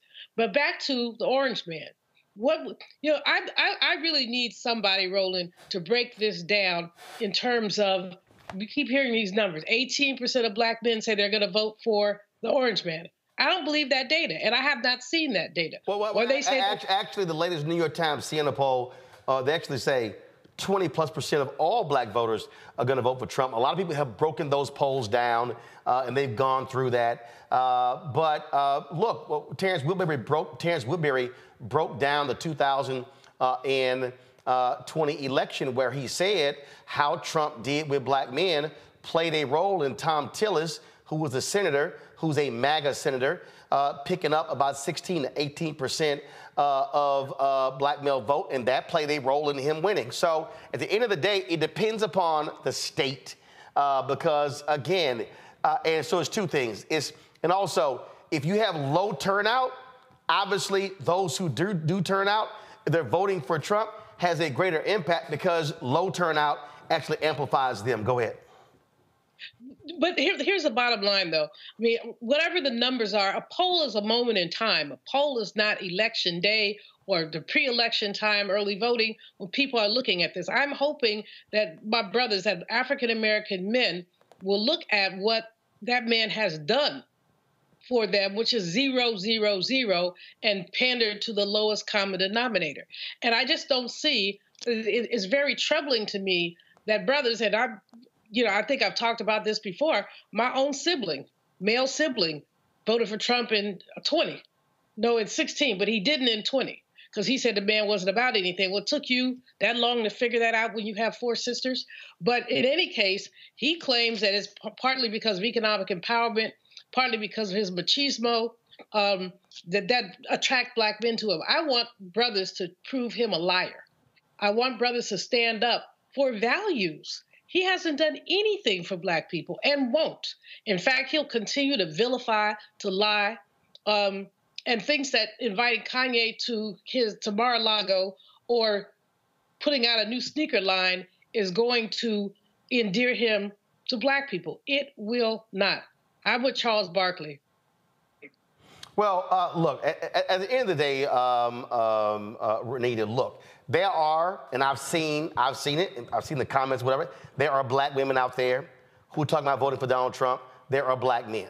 Okay, it's there. But but the bottom line is, I think part of the problem, what I'm seeing with these national conversations, and this is where I blame every executive at MSNBC, at CNN, at ABC, at CBS, at Fox News, and all of these all these networks, they are having poll driven conversations and not policy conversations. They were having conversations about Biden's age and, oh, he made this mistake, but they were not talking about Trump slurring his words and stuff like that. To me, that's still all the superficial stuff. The question comes down to what are your policies? What did Trump do? What did Biden do? What is Trump saying he's going to do? Trump is on record, national abortion ban. They're on record of having a Christian fundamentalist um, administration. And so mainstream media is stuck on polls and stuff like that and not actual policy and the impact on people. Well, and the one thing that you have to keep in mind with polls, as you said before, it is true. Some black people are going to vote for Trump. And I, as somebody who has had to campaign to voters, you will never hear me condescend to voters about how they should decide their vote and um and and tell them you know what they should or should not be doing because I just don't that's what helps us uh, as Democrats lose elections. Those who do vote for Democrats, progressives, and everyone on the left, that's exactly how you lose elections. But I will say, as, as far as the polls are concerned, it one thing that is probably not commonly known unless you have worked um, as, as unless you unless you've been a candidate or unless you have worked on a campaign a lot of people don't realize but the polls really do not um, they don't do they a significant or a good job of polling the number of black people that they need to in order to extrapolate the results. And so for years no matter what issue you talk about no matter what issue you think about whenever they show polling um, it typically does not reflect what is the on the ground opinion for black folks. But that's not the goal. but that's not the, the goal. The, the, the, okay, the goal, what, what I'm seeing right now, the problem that I'm seeing right now is that the conversation is completely about polls and not policy. And so I don't care what the poll is. What you now have is Cornell Belcher, who is a Democratic pollster, he's talked about this here. He said, when all of the conversation is about polls, then it's drop, that's constantly being bombarded in people's minds. And so all they're talking about, okay, polling this, polling that, as opposed to what they are talking about.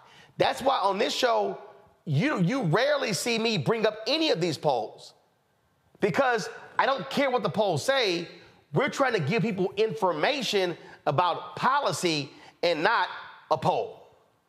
Right, but the other point I'll make because I'm just trying to put in perspective for you what these polls really mean. Oh no, no, man, I know what they mean, but I'm just saying I got to go ahead. Hold on, let me finish. It's also connected to what we were talking about earlier about these AI images. What they are, what Trump is trying to do, and these polls kind of play into it, is make more Black people feel like there is, you know, voting for Trump is not something that is so far um, out of the realm of anything legitimate. Voting for Trump is something that more Black people are starting to get on trend with. That's what they're trying to make folks feel. And so, like, when you look at the AI pictures that Trump is doing, I think the difference between this and that is that when he previously was campaigning, he had Blacks for Trump, those folks standing behind him. And when people started to investigate, they were frauds the too.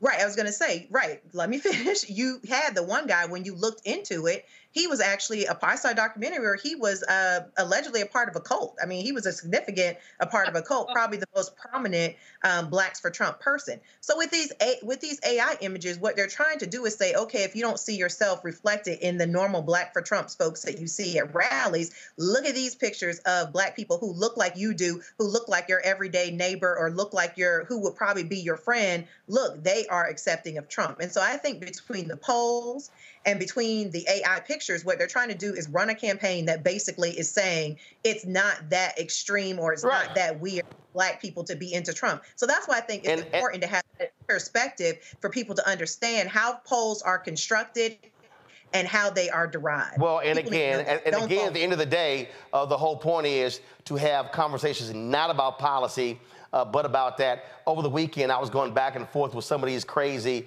uh, MAGA folks, these anti-immigration black people, uh, and this dude, Mark Carter, out of, out of Chicago, I guess.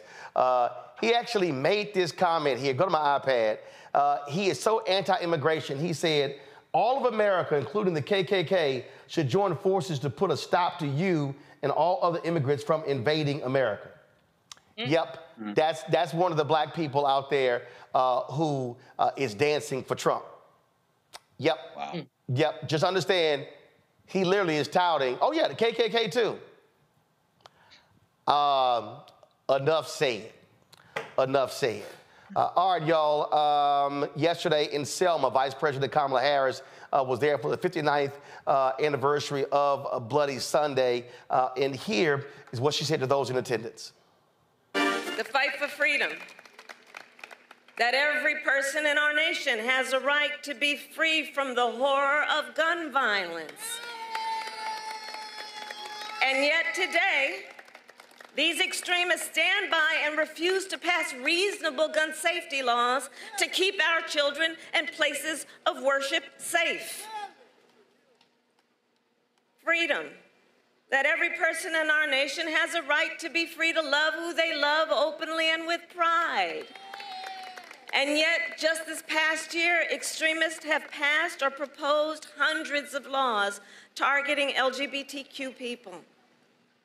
Freedom.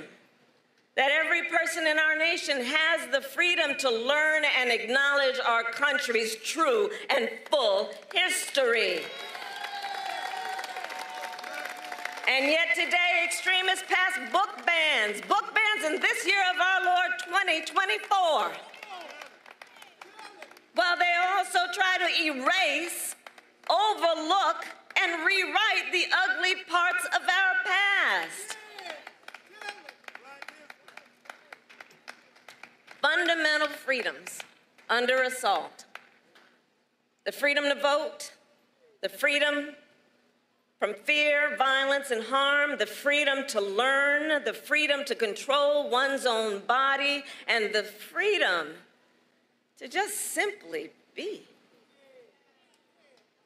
And understand the profound impact these attacks have on the next generation of our leaders. Just last fall, 15,000 young leaders joined me during my Fight for Our Freedoms college tour. And for them, these attacks on freedom are a lived experience.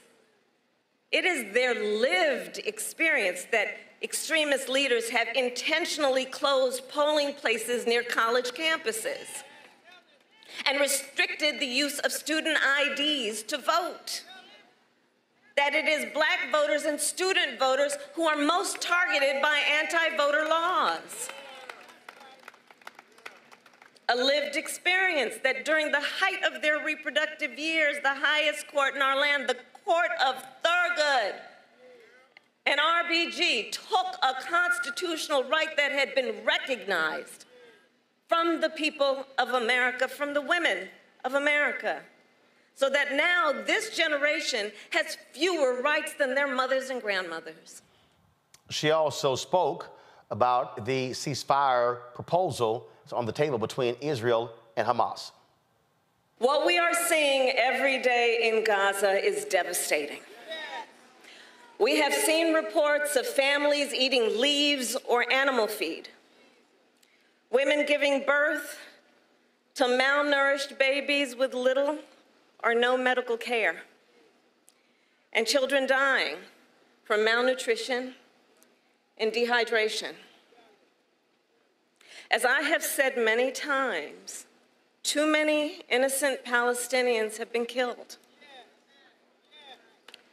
And just a few days ago, we saw hungry, desperate people approach aid trucks simply trying to secure food for their families after weeks of nearly no aid reaching northern Gaza. And they were met with gunfire and chaos. Our hearts break for the victims of that horrific tragedy and for all the innocent people in Gaza who are suffering from what is clearly a humanitarian catastrophe. People in Gaza are starving. The conditions are inhumane. And our common humanity compels us to act.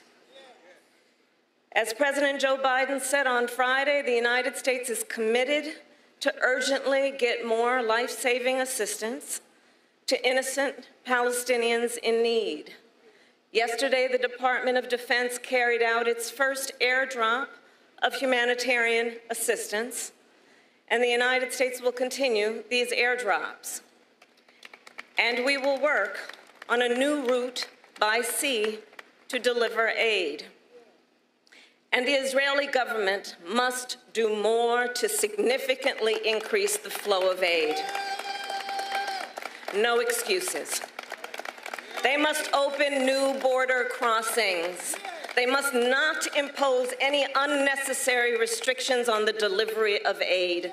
They must ensure humanitarian personnel, sites, and convoys are not targeted. And they must work to restore basic services and promote order in Gaza so more food, water, and fuel can reach those in need.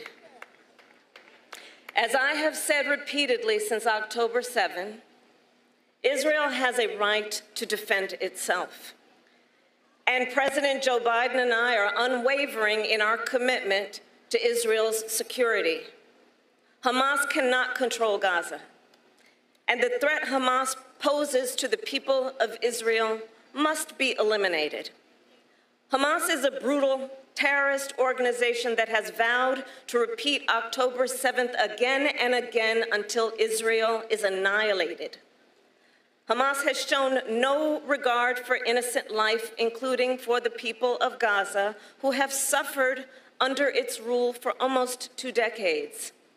And Hamas still holds dozens of hostages for nearly 150 days now.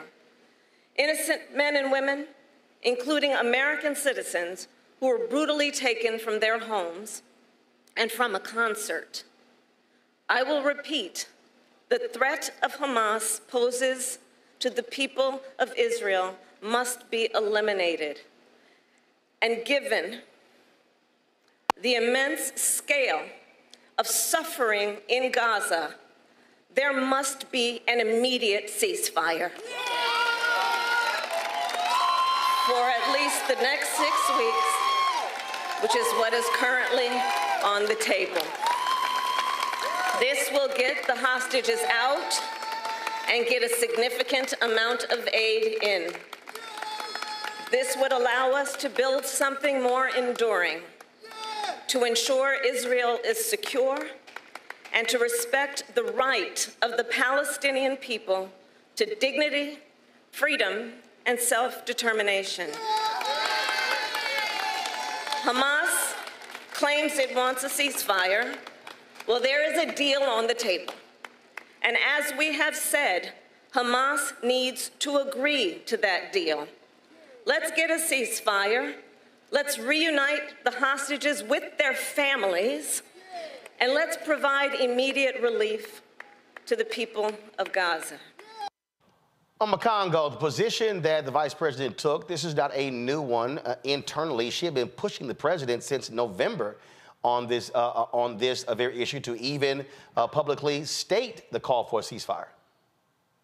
Yeah, absolutely. And I feel like people have unfairly criticized her and saying that she hasn't done enough. I mean, she's the vice president. She's not the president. You know, they've gone after the fact that, you know, she has a Jewish husband, all, all of these different things that were just unfair. And so, you know, I, when she was making that speech, you know, we can tell like the audience was kind of like, eh, I don't know if this is the spot. But as soon as she went to that ceasefire part, you know, people were with her because that's what we want. And I do believe that even though they try to downplay what happened in Michigan, you know, last week, this is not something that became all of a sudden something they wanted to do because of what happened in Michigan. Because, like you said, she's been pushing for it for for a while behind closed doors. But the fact of the matter is, we're getting closer to the election, and when you have 100,000 people who decide to vote that they're not committed, they had to make an, an immediate step to show that they're committed to doing something different. We see that a member of the Israeli government is coming, you know, Gantz, who's coming later this week, who's going to be meeting with Harris, who's one of Netanyahu's enemies. And, you know, Netanyahu's upset because he's afraid that there might be a type of pivot. And look, I think that it's going to go so far that uh, Biden's going to end up calling for Netanyahu's resignation publicly. And I feel like they need to go hard. There are some people that they've already lost because of what has happened. They are not coming back. But I feel like there are some people who can be swayed to come back to the Biden Camp, and some people who aren't sure, they wanted to see where this is going to go, who are going to be pleased by this. And so many people feel it's way too late, but you're there, you're honoring somebody like a John Lewis and a Dr. King and the like. Dr. King said the time is always right to do right, and that's what Vice, Vice President Harris did and what she said. Right, Renita. Well, I'm really glad to see the vice president really separate herself um, uh, more publicly. Um, as you stated, this is not the first time that she has said this, but I'm glad to see her continue to re- reiterate where she stands because it can become very easy to say, okay, well, whatever the president says is what the everyone in the administration believes. And I know from being an elected official, you always want to speak for yourself, and you don't want um, voters and the public assuming that you stand with somebody who may have been your uh, running mate. So I'm glad to see her just perfectly you know, articulate exactly how she feels on this issue. And it is important because, as uh, Omekongo mentioned, what we saw in Michigan, 100,000 voters voting uncommitted, that uh, campaign is moving across the country. I'm seeing things here online in Georgia where folks are saying, um, you know, we don't actually have that here in Georgia, the uncommitted option, but um, people are talking about skipping the uh, presidential election in the primary, which is the same thing as making the statement of being uncommitted. So that is something that is moving across the country. And so I really, you know, I commend, you know, her making herself clear because people are, many people, right. she's making herself clear many people are complaining about how Biden is talking about Gaza while eating ice cream in a very cavalier uh, sort of way. Julianne. I applaud the vice president for her statement, and I'm glad that she called for the ceasefire. She's done it before. This is a very public place to do it, and that's why she got the applause. It's overtime for this. Uh, Netanyahu is trying to stay out of jail, just like somebody else we know, and that's why he's allowing this conflict to go on. There are over 100 people still being held as hostage, but Hamas is basically uh, playing hardball because they want they want aid and people are starving. Children are starving. Uh, the numbers of people who are starving is just immense. So she was right to call that out, and uh, good good for her. I think the more she speaks out, the more people can see that she is of presidential timber. Um, and because you've got what's her name, um, Nikki Haley running around acting as if Biden can't make it past his first, uh, you know, first few weeks of his term. But like Mark Cuban said, I vote for I vote for Biden, you know, on his deathbed rather than vote for Trump alive and well. Um, gotcha. Yep. All right. Hold tight one second. When we come back, we're going to talk with Congresswoman, Congresswoman Sheila Jackson Lee, uh, who is seeking another two year term in Congress. Also, Emmitt Smith goes after the University of Florida over the issue of DEI. Will the athletes follow suit? And so glad to see my man Sinbad, after suffering a debilitating stroke, actually appear in public for the first time. We will show you him speaking as well. You're watching Roland Martin Unfiltered right here at the Black Star Network. Support us in what we do. Join our Bring the Funk fan club. Send your check and money over to P.O. Box 57196, Washington, D.C. 20037-0196. Cash App, dollar sign RM Unfiltered, PayPal, R Martin Unfiltered. Venmo is RM Unfiltered. Zelle, Roland at RolandSMartin.com, Roland at RolandMartinUnfiltered.com. We'll be right back. You heard why we're marching, and, and it's really a launch. It's not even a march. We're launching That's right. a 42 week campaign, March the 2nd at 10 o'clock in Raleigh and 33 other state capitals right. and the District of Columbia. This is a, this is a historic move to mobilize mm-hmm. the most powerful untapped block of voters in this country poor and low wealth voters who make up 87 million votes. And it's never been tried before. Never been tried before in history. At the same time, same message, same focus. And when that power turns loose, yes. they will not be able to figure out the political calculus. I don't know about you, but I'm ready to shake things up. I'm ready to get up out of the valley. I'm ready for God to put his spirit on us. I'm ready to be used to change this nation. And what we're saying is, can't we come together? Can't we come together around an agenda? You ain't got to like everything about Reverend. You don't have to like everything about Sangria. You don't have to like everything about Long Choir. But can we come together and say, it's time to end poverty as the fourth leading cause of death? It's time to have $15 at a living wage indexed with inflation. So every time inflation goes up, the minimum wage goes up. It's time to have health care for all. It's time to fully fund public education. Can't we come together? It's time to protect women's right to women's health. It's time, it's time to have affordable housing for everybody. It's time to stop the proliferation of guns. Ain't no way folk ought to be able to have more guns than they have food, more guns than they have meat on their table. That makes no sense. Isn't it time for division to be ended and love to take over? Can't we organize around that? Look at your neighbor and say, neighbor, I don't need to like everything about you.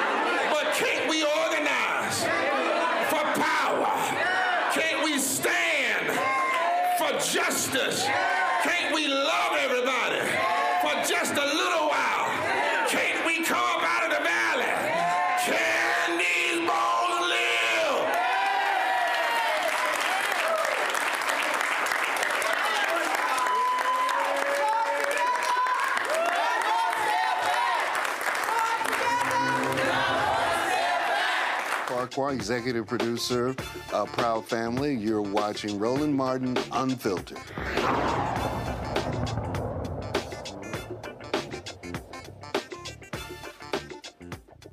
Election day in Texas tomorrow. Earlier, we talked with Amanda Edwards, who is challenging Congresswoman Sheila Jackson Lee uh, for to represent the 18th congressional district in Houston, which Congresswoman Lee has represented for the last uh, 29 years. Representative Lee joins us right now. I'm glad to have you back on Roland Martin Unfiltered.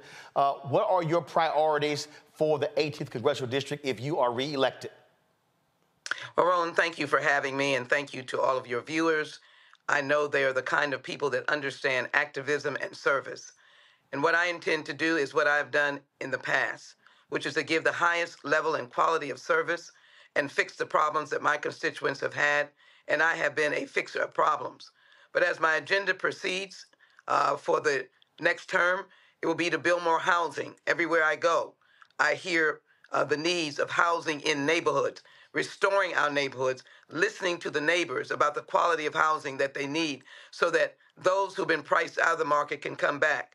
I want to make sure that I create a greater access to wealth for our businesses and those young families and others who are making their first steps in creating businesses um, for the first time. I want to make sure that health care is preserved, expanded Medicaid and Medicare. I've been a champion uh, for a universal health care, a champion for originally the Affordable Care Act, but also the public health component. I sat at the table and argued and advocated for the most expansive health care that we could get, protecting for our seniors, Social Security, uh, and then, of course, going back to the table for all of those families who have suffered to introduce and reintroduce the George Floyd Justice and Policing Act. I am the lead as a ranking member on the crime subcommittee. We are planning on moving forward to ensure that we can do two things at once respect law enforcement, but have justice. And that has been the work that I have been able to do.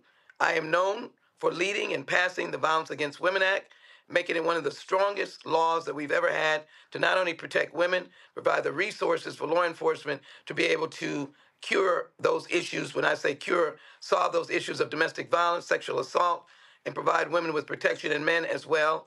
And then to make sure that uh, we deal with AI in our community, particularly the impact on African Americans and labor to make sure that labor is strong. And then one of the things that I'm certainly proud of to continue to grow the history of our people, as I led and was the first, uh, the author of the Juneteenth federal legislation, created the federal holiday, the only sitting member in Congress that has created a federal holiday, the first one in 38 years. Then I want to make sure that we move forward on the commission to study slavery uh, and develop the response uh, to those years. I am not afraid of moving on issues that challenge us, but I'm also not afraid of representing the entirety of my district, which is Latinos, Anglos, African Americans, Asians. I am there to be the problem solver that's what I hope to do in the next term. You talked about housing as one of the critical issues, but the reality is uh, there's an underbuilding in this country from 2010 to 2020 and 2020 to present day. Uh, we are not building homes fast enough. It's the lowest number since the 1940s. How do you, as a member of Congress, do anything about the, la- the, the underbuilding? What do you do to change that? I am a good collaborator. I'm also a person that comes home to the district and does not sit down. I meet people all over, and I have met just a large component of new and young builders who are eager to get into the marketplace and to do the job. So, my first task is to collaborate, bring those young builders together, bring them together as a group, and begin to formulate uh, an engine and an energy of home building, giving them access to credit, meeting, bringing the bankers here, uh, talking to the private uh, equity community. I've talked to uh, some of them, and they're excited about being in the housing building market. Put them with these young and new builders. Multiply the number of people who are building in neighborhoods. Let the neighbors tell them what kind of housing uh, type you want to have so that it fits the neighborhood and the neighborhood's quality and culture is not lost. I believe that you can do things when you think creatively, just like I did with the $50 million first time grant to Texas Southern University pursuant to the Inflation Reduction Act, working with Dr. Robert Bullard, uh, the father of environmental justice. Uh, we can do things that have never been done before. And since building, housing, is a commitment, a passion. I want to get those many, many builders that are individually operating, let them work together, and let us begin to move with federal partnership funds from HUD, private equity funds, and then access to the uh, capital markets through our banks, through the CDFIs, and really build for our people and for our neighborhoods, no matter what neighborhood you live in. So I see the solution to the problem, and I want to be part of the effort to bring back housing to our neighborhoods. And every time I say that, there's a smile on the faces of those constituents that I'm meeting with. Uh, your opponent says she wants to change systems and how things work, uh, such as money that comes back to the state. I said, well, the money comes back through community development block grant funds, and oftentimes that goes to the, to the governor to the, of Texas, uh, and doesn't necessarily come back to the cities. Uh, uh, speak to that because that's what I've heard from black mayors as well. Uh, they say, hey, don't send the money to these red state governors. Get the money directly to uh, mayors of these cities, a lot of them who are African American or who are Democrat or who are nonpartisan. Your thoughts? Well, first of all, that has been an issue that myself and the Congressional Black Caucus and the Progressive Democrats have been working on.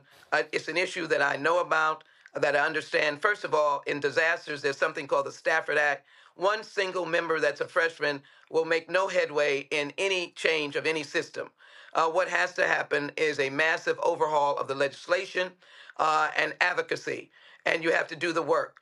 And I've been able to successfully bring direct funding to our cities and our counties, uh, as a million dollars that came in for our victims' assistance, uh, dollars that have come in to build uh, economic empowerment centers, dollars that have come in for housing. It's the members' hard work. But as it relates to the law, we have all been working on looking at how we uh, rewrite the law that has not been able to be rewritten in probably 50 years or more to be able to uh, sidestep uh, that direct uh, routing of funds that is the policy of the federal government to the states, which then ultimately goes uh, to local government systems. But what you have to do is be astute as a member who has seniority, who is a chief deputy whip, as I am, uh, who is someone who is uh, able to collaborate with the chairman of the Appropriations Committee to build the foundation of getting direct funds to the cities that you represent, uh, like the city of Humble, like the city of uh, Jacinto City, like Houston, all of those places I've represented,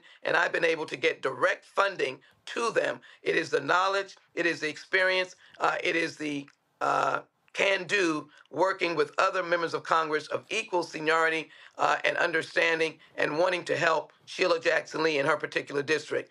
We want to make system changes, but that takes a very long time, and the Stafford Act has not been changed in decades. Uh, so we don't want to give up, but we want to find alternatives to put money in the pockets of our great mayors. And I believe in collaborating with our mayors. I've collaborated with every single mayor uh, that I have had the privilege of representing, including bringing enormous dollars to them during disasters. Hurricane Ike, Hurricane Rita, Hurricane Katrina, which uh, it did not directly hit us, but the people who came, we had to provide resources for them.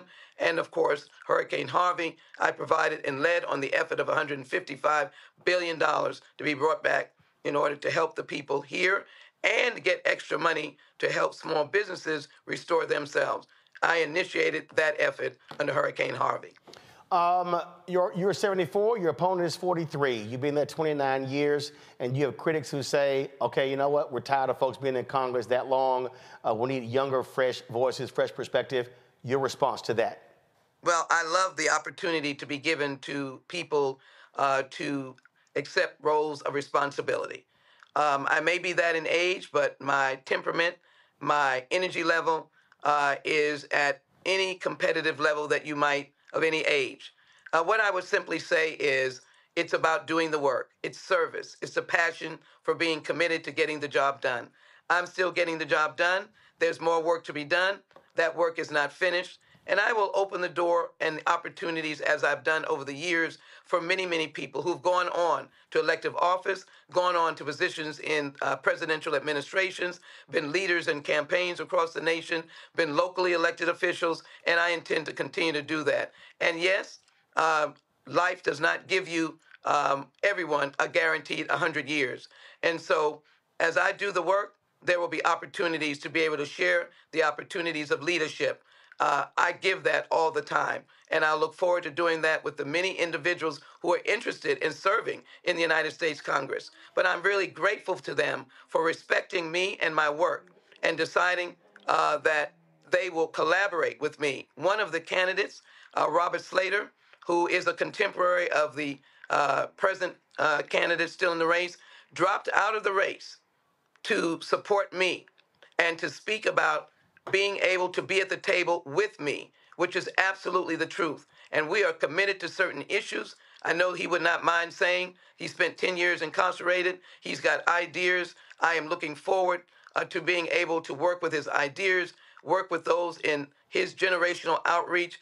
My reach is from five years old to Gen Z, Gen X, millennials, uh, families, and our elders. We learn from all of us. And I've been a congresswoman that has been fortunate enough to work with every single level and to bring joy and response on their needs. So I'm going to continue to do that and continue to be someone who mentors, open the doors of opportunities, and the doors will be open, and there will be opportunities for many people to walk through the door. You can count on Sheila Jackson Lee being that kind of member of Congress. I've done that in the past, and I enjoy it in the future.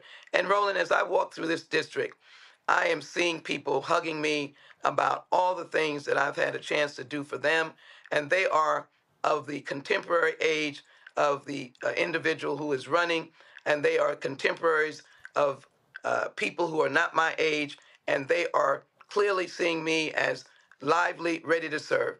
I have people fighting for me because they saw me fighting for them. And that's all I can offer as we go into the election tomorrow for Sheila Jackson Lee to reelect me because you know that I've been fighting for you. And so I hope that you'll fight for me and that together we'll make things even better. There's been a continuous progress in the 18th Congressional District since I've been elected. There's not been one year when there's not been a progressive change or movement or growth or funding since I've served. I've not let one year languish, uh, if you will, or be without attention uh, because I've been there at this number of years or I'm going to be there this number of years. Right. I've never taken this seat for granted. Never. Congresswoman Sheila Jackson Lee, we appreciate it. Thanks a lot. Thank you. It's good to be with you. Folks, election Bye-bye. day. Get out and vote. Gotcha. Election day is tomorrow, folks, in Texas and several other states across the country. And of course, we'll be talking about those results tomorrow, but also on Wednesday's show.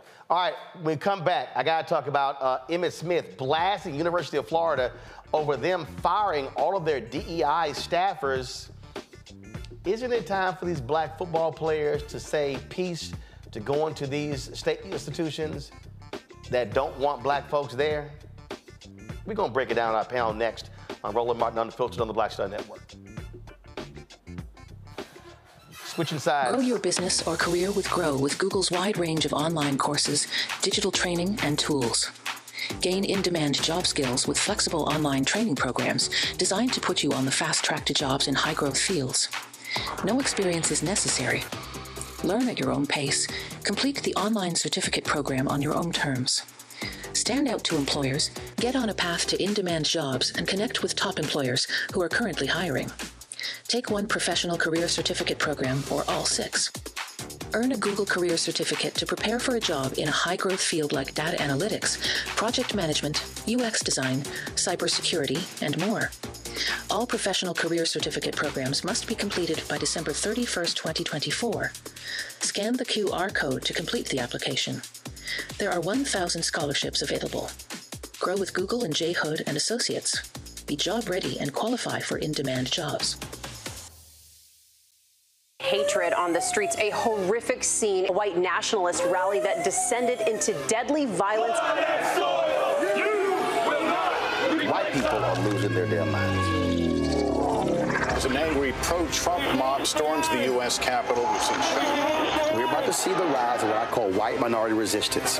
We have seen white folks in this country who simply cannot tolerate black folks voting. I think what we're seeing is the inevitable result of violent denial. This is part of American history. Every time that people of color have made progress, whether real or symbolic, there has been what Carol Anderson at Emory University calls white rage as a backlash. This is the rise of the Proud Boys and the Boogaloo Boys. America, there's going to be more of this. Here's all the Proud Boys, guys. This country is getting increasingly racist in its behaviors and its attitudes because of the fear of white people. The fear that they're taking our jobs, they're taking our resources, they're taking our women. This is white fear.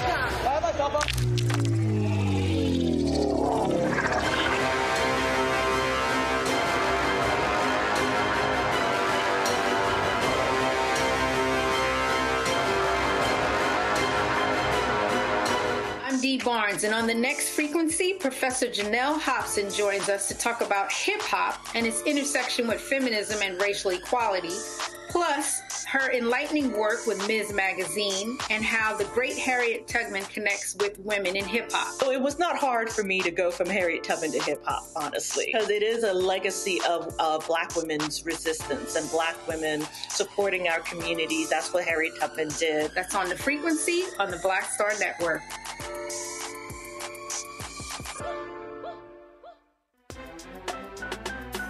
I'm Faraji Muhammad, live from LA. And this is The Culture. The Culture is a two way conversation. You and me. We talk about the stories, politics, the good, the bad, and the downright ugly. So join our community every day at 3 p.m. Eastern and let your voice be heard. Hey, we're all in this together. So let's talk about it and see what kind of trouble we can get into. It's The Culture, weekdays at 3, only on the Black Star Network. On a next, A Balanced Life with me, Dr. Jackie. What does it mean to actually have balance in your life? Why is it important and how do you get there? A masterclass on the art of balance. It could change your life. Find the harmony of your life. And so, what beat can you maintain at a good pace? What cadence can keep you running that marathon? Because we know we're going to have you know, high levels, we're going to have low levels, but where can you find that flow, that harmonious pace? That's all next on A Balanced Life on Black Star Network. It's John Murray, the executive producer of the new Sherri Shepherd Talk Show. This is your boy Earthquake. And you're tuned in to Roland Martin, Unfiltered.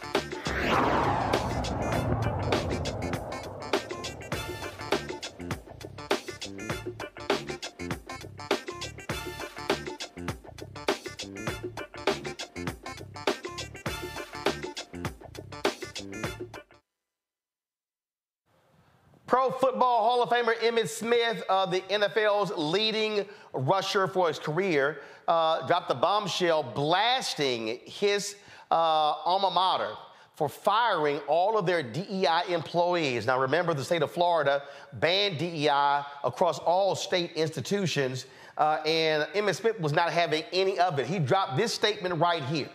Uh, Emmitt said, quote, come on, guys. Come on, guys. Come on. Thank you. Um, I'm utterly disgusted by UF's decision and the precedent that it sets. Without the DEI department, the job falls to the office of the provost, who already has his, their hands full to raise money for the university and continue to advance the academic studies and athletic programs. We cannot continue to believe and trust that a team of leaders, all made up of the same background, will make the right decision when it comes to equality and diversity. History has already proven that is not the case. We need diverse thinking and backgrounds to enhance our university, and the DEI department is necessary to accomplish those goals. Instead of showing courage and leadership, we continue to fail based on systemic issues.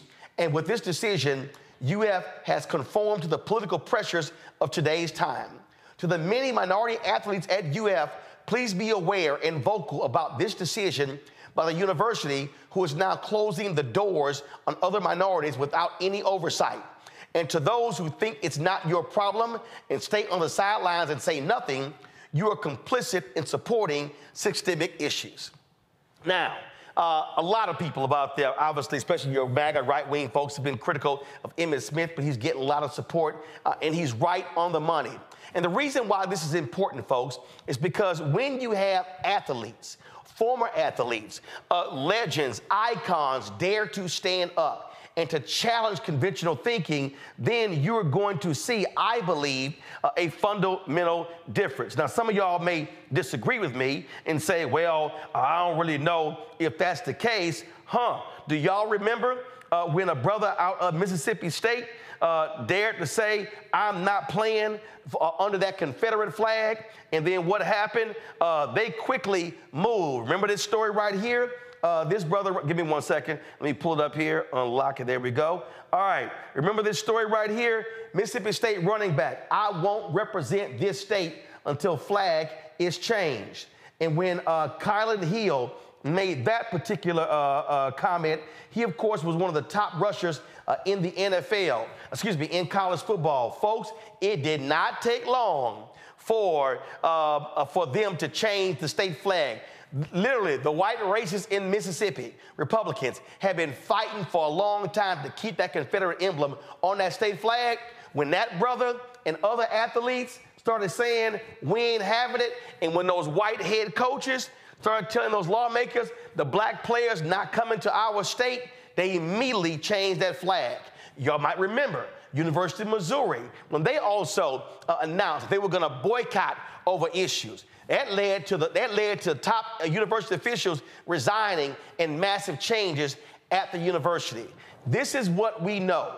There is power from athletes. A few months ago, when Texas A&M, uh, well, they screwed over Kathleen McElroy, uh, A&M uh, a graduate. I called on athletes, four and five star athletes, to tell Texas A&M, peace. If you can't uh, hire black folks after they graduate, then I'm not coming to your university. And I called on a bunch of former athletes to stand up. Many of them were silent. And so, in, if we're talking about changing here, right now in Alabama, the mayor of Birmingham, Randall Woodfin, came out and said if Alabama gets with of DEI in the state, black players should not come play football at Alabama or Auburn. And I'm telling y'all right now, college football cannot exist without black players. Ask uh, Bear Bryant what happened when Alabama had his all white team and USC came to town with all them black players and kicked Alabama's ass up and down the field.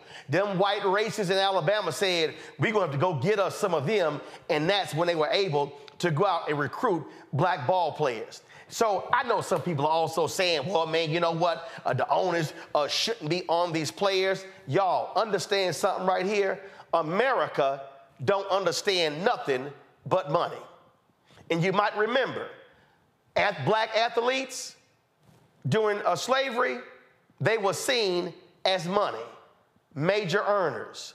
They still are major earners for Texas, for Texas A&M, for Florida, for Florida State, for Alabama, for Auburn, for Ole Miss and Mississippi State, and for Tennessee and on if we are going to see changes in our society, it's going to take more than civil rights activists, more than black owned media, more than other advocates doing what's right.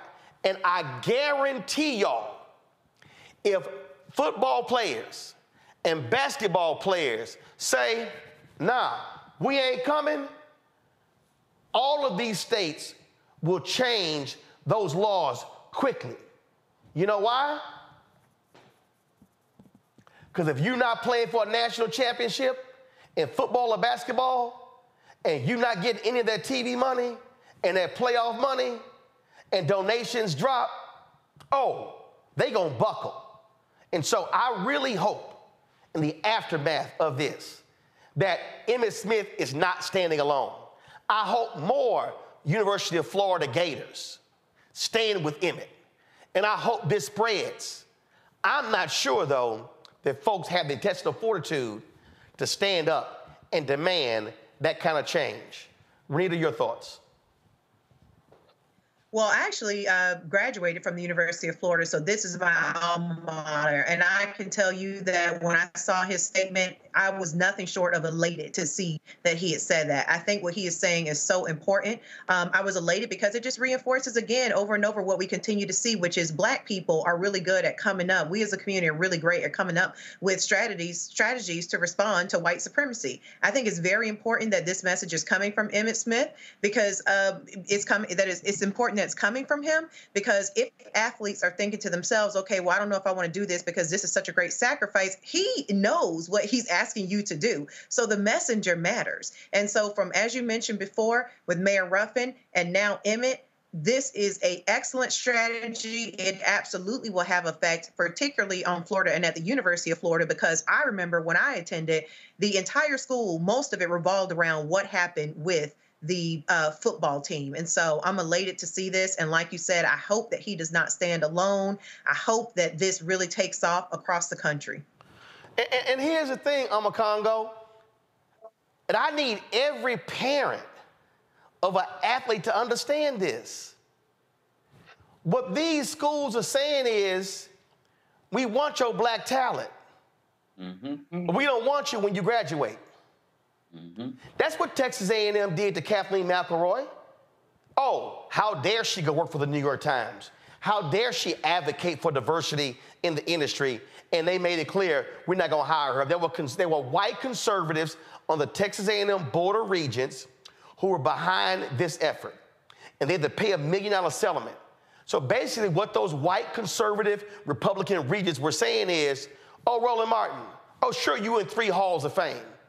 Just found out today I'm about to get inducted to a fourth Hall of Fame, but you ain't welcome to come back and work at the university because you believe in diversity. This is where we need, and here's the thing all you need, Congo, are one, two, or three athletes to say, I'm not coming to your school because of your attacks on DEI by your legislature. And I'm telling you, it will, it will send uh, a shiver down the spines of every coach and every assistant coach and every recruiter because they're going to be wondering, oh my God, who's next? And, all, and, and, and if you're a four or five star, be recruited by Florida, you likely will be recruited by Ohio State and Michigan and USC. So there are numerous top programs you can go to. I hope we have some black parents and some black athletes who have the courage to say, you know what, I'm with Emmitt. And if they committed to Florida, decommit and say, this is why, trust me, they will all of a sudden change. Oh, absolutely, and the space is, is right for this. I can completely see somebody like a you know LeBron James, you know the guys Steph Curry coming out in support of these types of players. You know because so many of these these uh, players are activist minded. Uh, we saw what happened with the NBA and the Clippers and what they did to get rid of that president. But here's the thing: in Florida, we got to also understand that a lot of these owners in different places they're more emboldened. The Orlando Magic made a donation to Ron DeSantis in the name of the organization, which includes the players, and so my point is that as we're going towards this election, these are these owners and presidents and stuff, they're getting more emboldened, and so we have to become more emboldened as well. And so when we're talking about what happened in Missouri, what we're talking, and then you've got to remember, a lot of these players now, they can get their NIL deals. You know, they have lots of ways to make money and, and wield their influence. And so these students they have to in addition to the dei i work in this dei space so i see these cuts and disrespect happening to our stories every single day. But in addition to the dei space conversation Roland these players have you know some of them are are women right you know in terms of the you know the women's sports then you, know some of these male players they got mothers they got sisters you know, people who are being affected by these abortion issues and other things. So in some of these states, there are so many issues that these players can choose to take a stance on, starting with this DEI. And as Dr. as, as sorry, as the late Johnnie Cochran said, hit people in the pocketbooks and their hearts and minds will follow. Uh, and, and, and, understand something here, Julian. Go to my uh, uh, iPad. In 1969, there were nine black football players at Syracuse University who stood up uh, and they actually they're called uh, the, it was a book that was called the leveling, leveling the playing field the story of the syracuse eight not only did they boycott practice they boycotted the 1969 season now they paid a price when that happened. They kicked them off the team and the university did not recognize their achievements until some 20 30 years later. But the point i'm making here is i'm not even saying black players say we're going to boycott. What i'm saying is if black recruits, two, three, or four, say, oh, I was gonna go to Florida, but since y'all did that, no, I'm gonna go to this school, or I'm gonna go to this school. It will freak these folks out and they will change. Absolutely. You know, the thing is that um, they're used to us having our hands out. They're used to us being grateful, happy to be there. But what we're finding is as the pendulum shifts, people are not necessarily happy to be there. They don't want to go to a school that doesn't recognize diversity. They don't want to go to a school that does not respect their history. They don't want to go to a state that has banned 1,600 books. And so you're right. If two or three or four say we're not coming there, we'd rather go to Ohio, Michigan, any place else, they will pay attention. And if one of those players goes to, let's say, Michigan, and Michigan beats the stuffing out of the University of Florida, you know that that coach is likely to be fired, likely to be in some kind of trouble. How did you let him get away? Well, I didn't let him get away. Y'all let him get away with your policies. So chickens are coming home to roost, and it's reckoning time. Well, and again, what I'm saying to these black athletes, and what I'm saying to their parents. These schools, they want your labor. These schools want you running up and down the field. And let me, let me put it to how I put it with Texas A&M. They believe in DEI on Saturday afternoon. That they believe in DEI when it comes to Saturday afternoon. And if we are going to change a system, it hits them where it hurts. And with black labor, withdraws its labor and they are denied black talent, when they no longer have us running up and down the field, running the 4 4 and a 4 5 as running backs, quarterbacks, DBs, and linebackers, oh, trust me, when they begin to see that we have the guts to stand up for our people and say, we don't have to play for you, we can go elsewhere they will absolutely buckle because mm-hmm. America understands money. And I keep telling y'all, if you ain't having a money conversation, you're not having an American conversation. And black athletes represent billions, billions to college football, to these states, to these TV networks. Show them your power. Stand with Emmitt Smith. Let's see it happen. Renita, I'm a Congo. Julianne, I appreciate y'all being on today's show. Thank you so very much. Folks, be sure to support us in what we do. Uh, look, we built something here other folks not doing. And that is, we're covering the news of the day in a way that nobody else is doing. We're fighting these battles every single day. And when I say we're fighting them, we're fighting them. I don't know if y'all saw my Instagram page. I would love for y'all to go comment on my Instagram page. Uh, but you saw today me ask the question on Instagram, on Twitter, on Fanbase. State Farm, how much money are you spending with black owned media? You saw me ask the question Pfizer, you're spending billions of dollars a year on advertising. Why so little with black owned media? You saw me say, Merck, you had a black CEO. How is it that y'all are spending so little on black owned media? You heard me, you saw me call out uh, several others as well. Uh, let me see, I'll pull them up. I want to show their logos, y'all. Uh, let's see here. Let me pull them up. AstraZeneca, same thing, another pharmaceutical, spending crazy amounts of money on, on, on advertising. I see their commercials and advertisement and billboards all over the place. But again, where's the money for black owned media? AbbVie, another pharmaceutical that spends crazy amounts of money. Guess what? Black owned media seeing little of that money. And Bristol Myers Squibb, hold on one second. Bristol Myers Squibb, same thing, spending lots of money on advertising, commercials on ABC, NBC, CBS, CNN, MSNBC, virtually non existent on black owned media. Folks, the only way this game changes is when we demand a return on our investment. But in the meantime, your support is critical. So when you give to our Bring the Funk fan club, it allows for us to be able to do what we do. Right now, y'all, I, look, this is how transparent I am. And I'll tell you right now, right now, we need to fill two positions. Those two positions are going to cost us about $110,000. Let me say it again. And we actually need to fill three positions.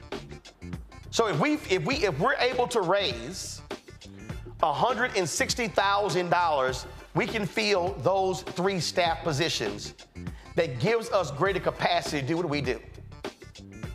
Your donations, I can't do it. I'm going after these folks. I'm blasting these folks. I'm challenging these folks. In fact, that was another, uh, we got an email, uh, and that was this um, uh, big meeting they had last week.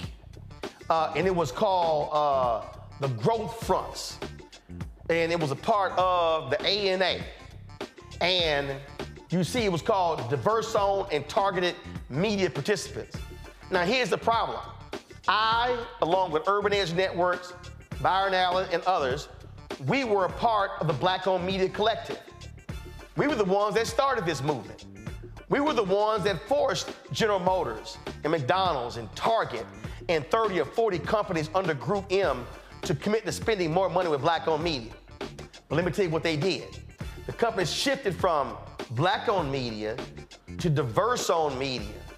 So these folks had a big old conference last week and invited all these companies, you see, and a lot more, but didn't invite us, even though we started this movement. Oh, I've already sent them a letter, an email, and posted them on social media saying, how you not go invite the people who started the movement to get us more money? How you go, how you not going to invite us to your growth front? Show it again.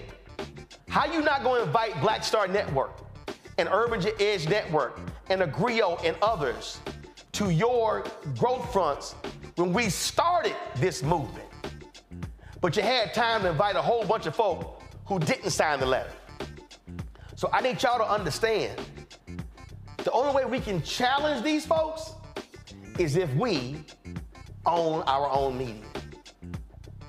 You can't do this if we working for somebody else that's not black owned. And when we say get black owned, you know what then happens? That money then allows us to hire people. You got black folks and others who've been laid off. BuzzFeed News, LA Times, Wall Street Journal, Vice, talented people who are now out of jobs. Imagine if we were able to generate an additional two to three to four to five, ten million dollars in revenue. We can go from 15 people to 50 people to 75 people to 100 people. I already have the vision laid out.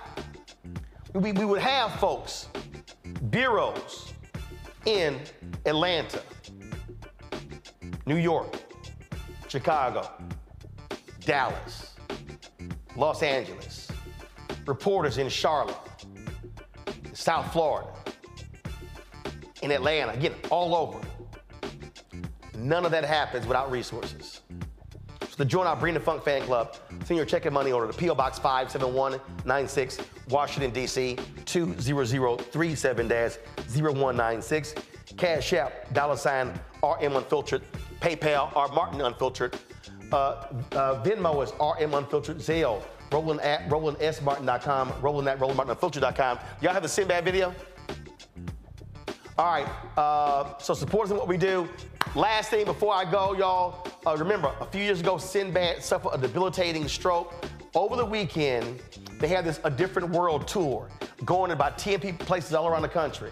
Well, for the first time, we got to see Sinbad, y'all, And it was so ga- glad, so I was so happy to see this brother, uh, for us to hear from this brother.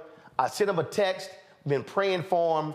And so he posted this on his Instagram video on page, y'all. It has been a long, hard battle back for Sinbad. Press play.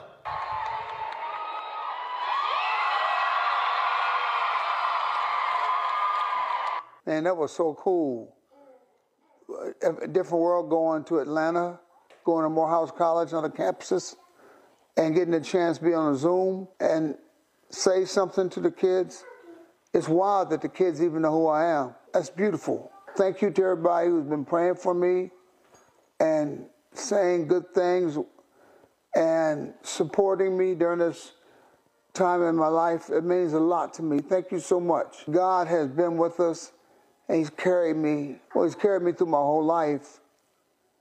And it means so much when I hear from y'all and you tell me, Sinbad, keep going, saying, Sinbad, we're sending prayers, we're praying, my family's praying for you. Those words are important, and I feel it. I feel those prayers. I want to say this to all the people who have emailed me through the website. Some of you are going through what I'm going through, or even worse than me. I'm reading these things. I'm going to try to answer as many as I can. I pray for you and understand what it's like. It's rough. I want to thank all of y'all who've been fans and friends all these years of mine. Thank you so much. Expect to see more of me soon. And don't freak out if you turn around, I'm standing right behind you. Simba, I can't believe you're here. You can't believe it. You better believe it. Miracles happen. So for years, Sinbad has been challenging me. He's like, Roland, you gonna one day you gonna do a 15 minute set on stage. I'm like, Sinbad, that ain't what I do. He's like, no, you funny. You gonna get your butt on stage. All right. So when Sinbad, when you get back on that stage, I'm gonna be on that stage with you. All right, my brother. Be praying for you. Be well. Folks, I'll see y'all tomorrow. Black Star Network is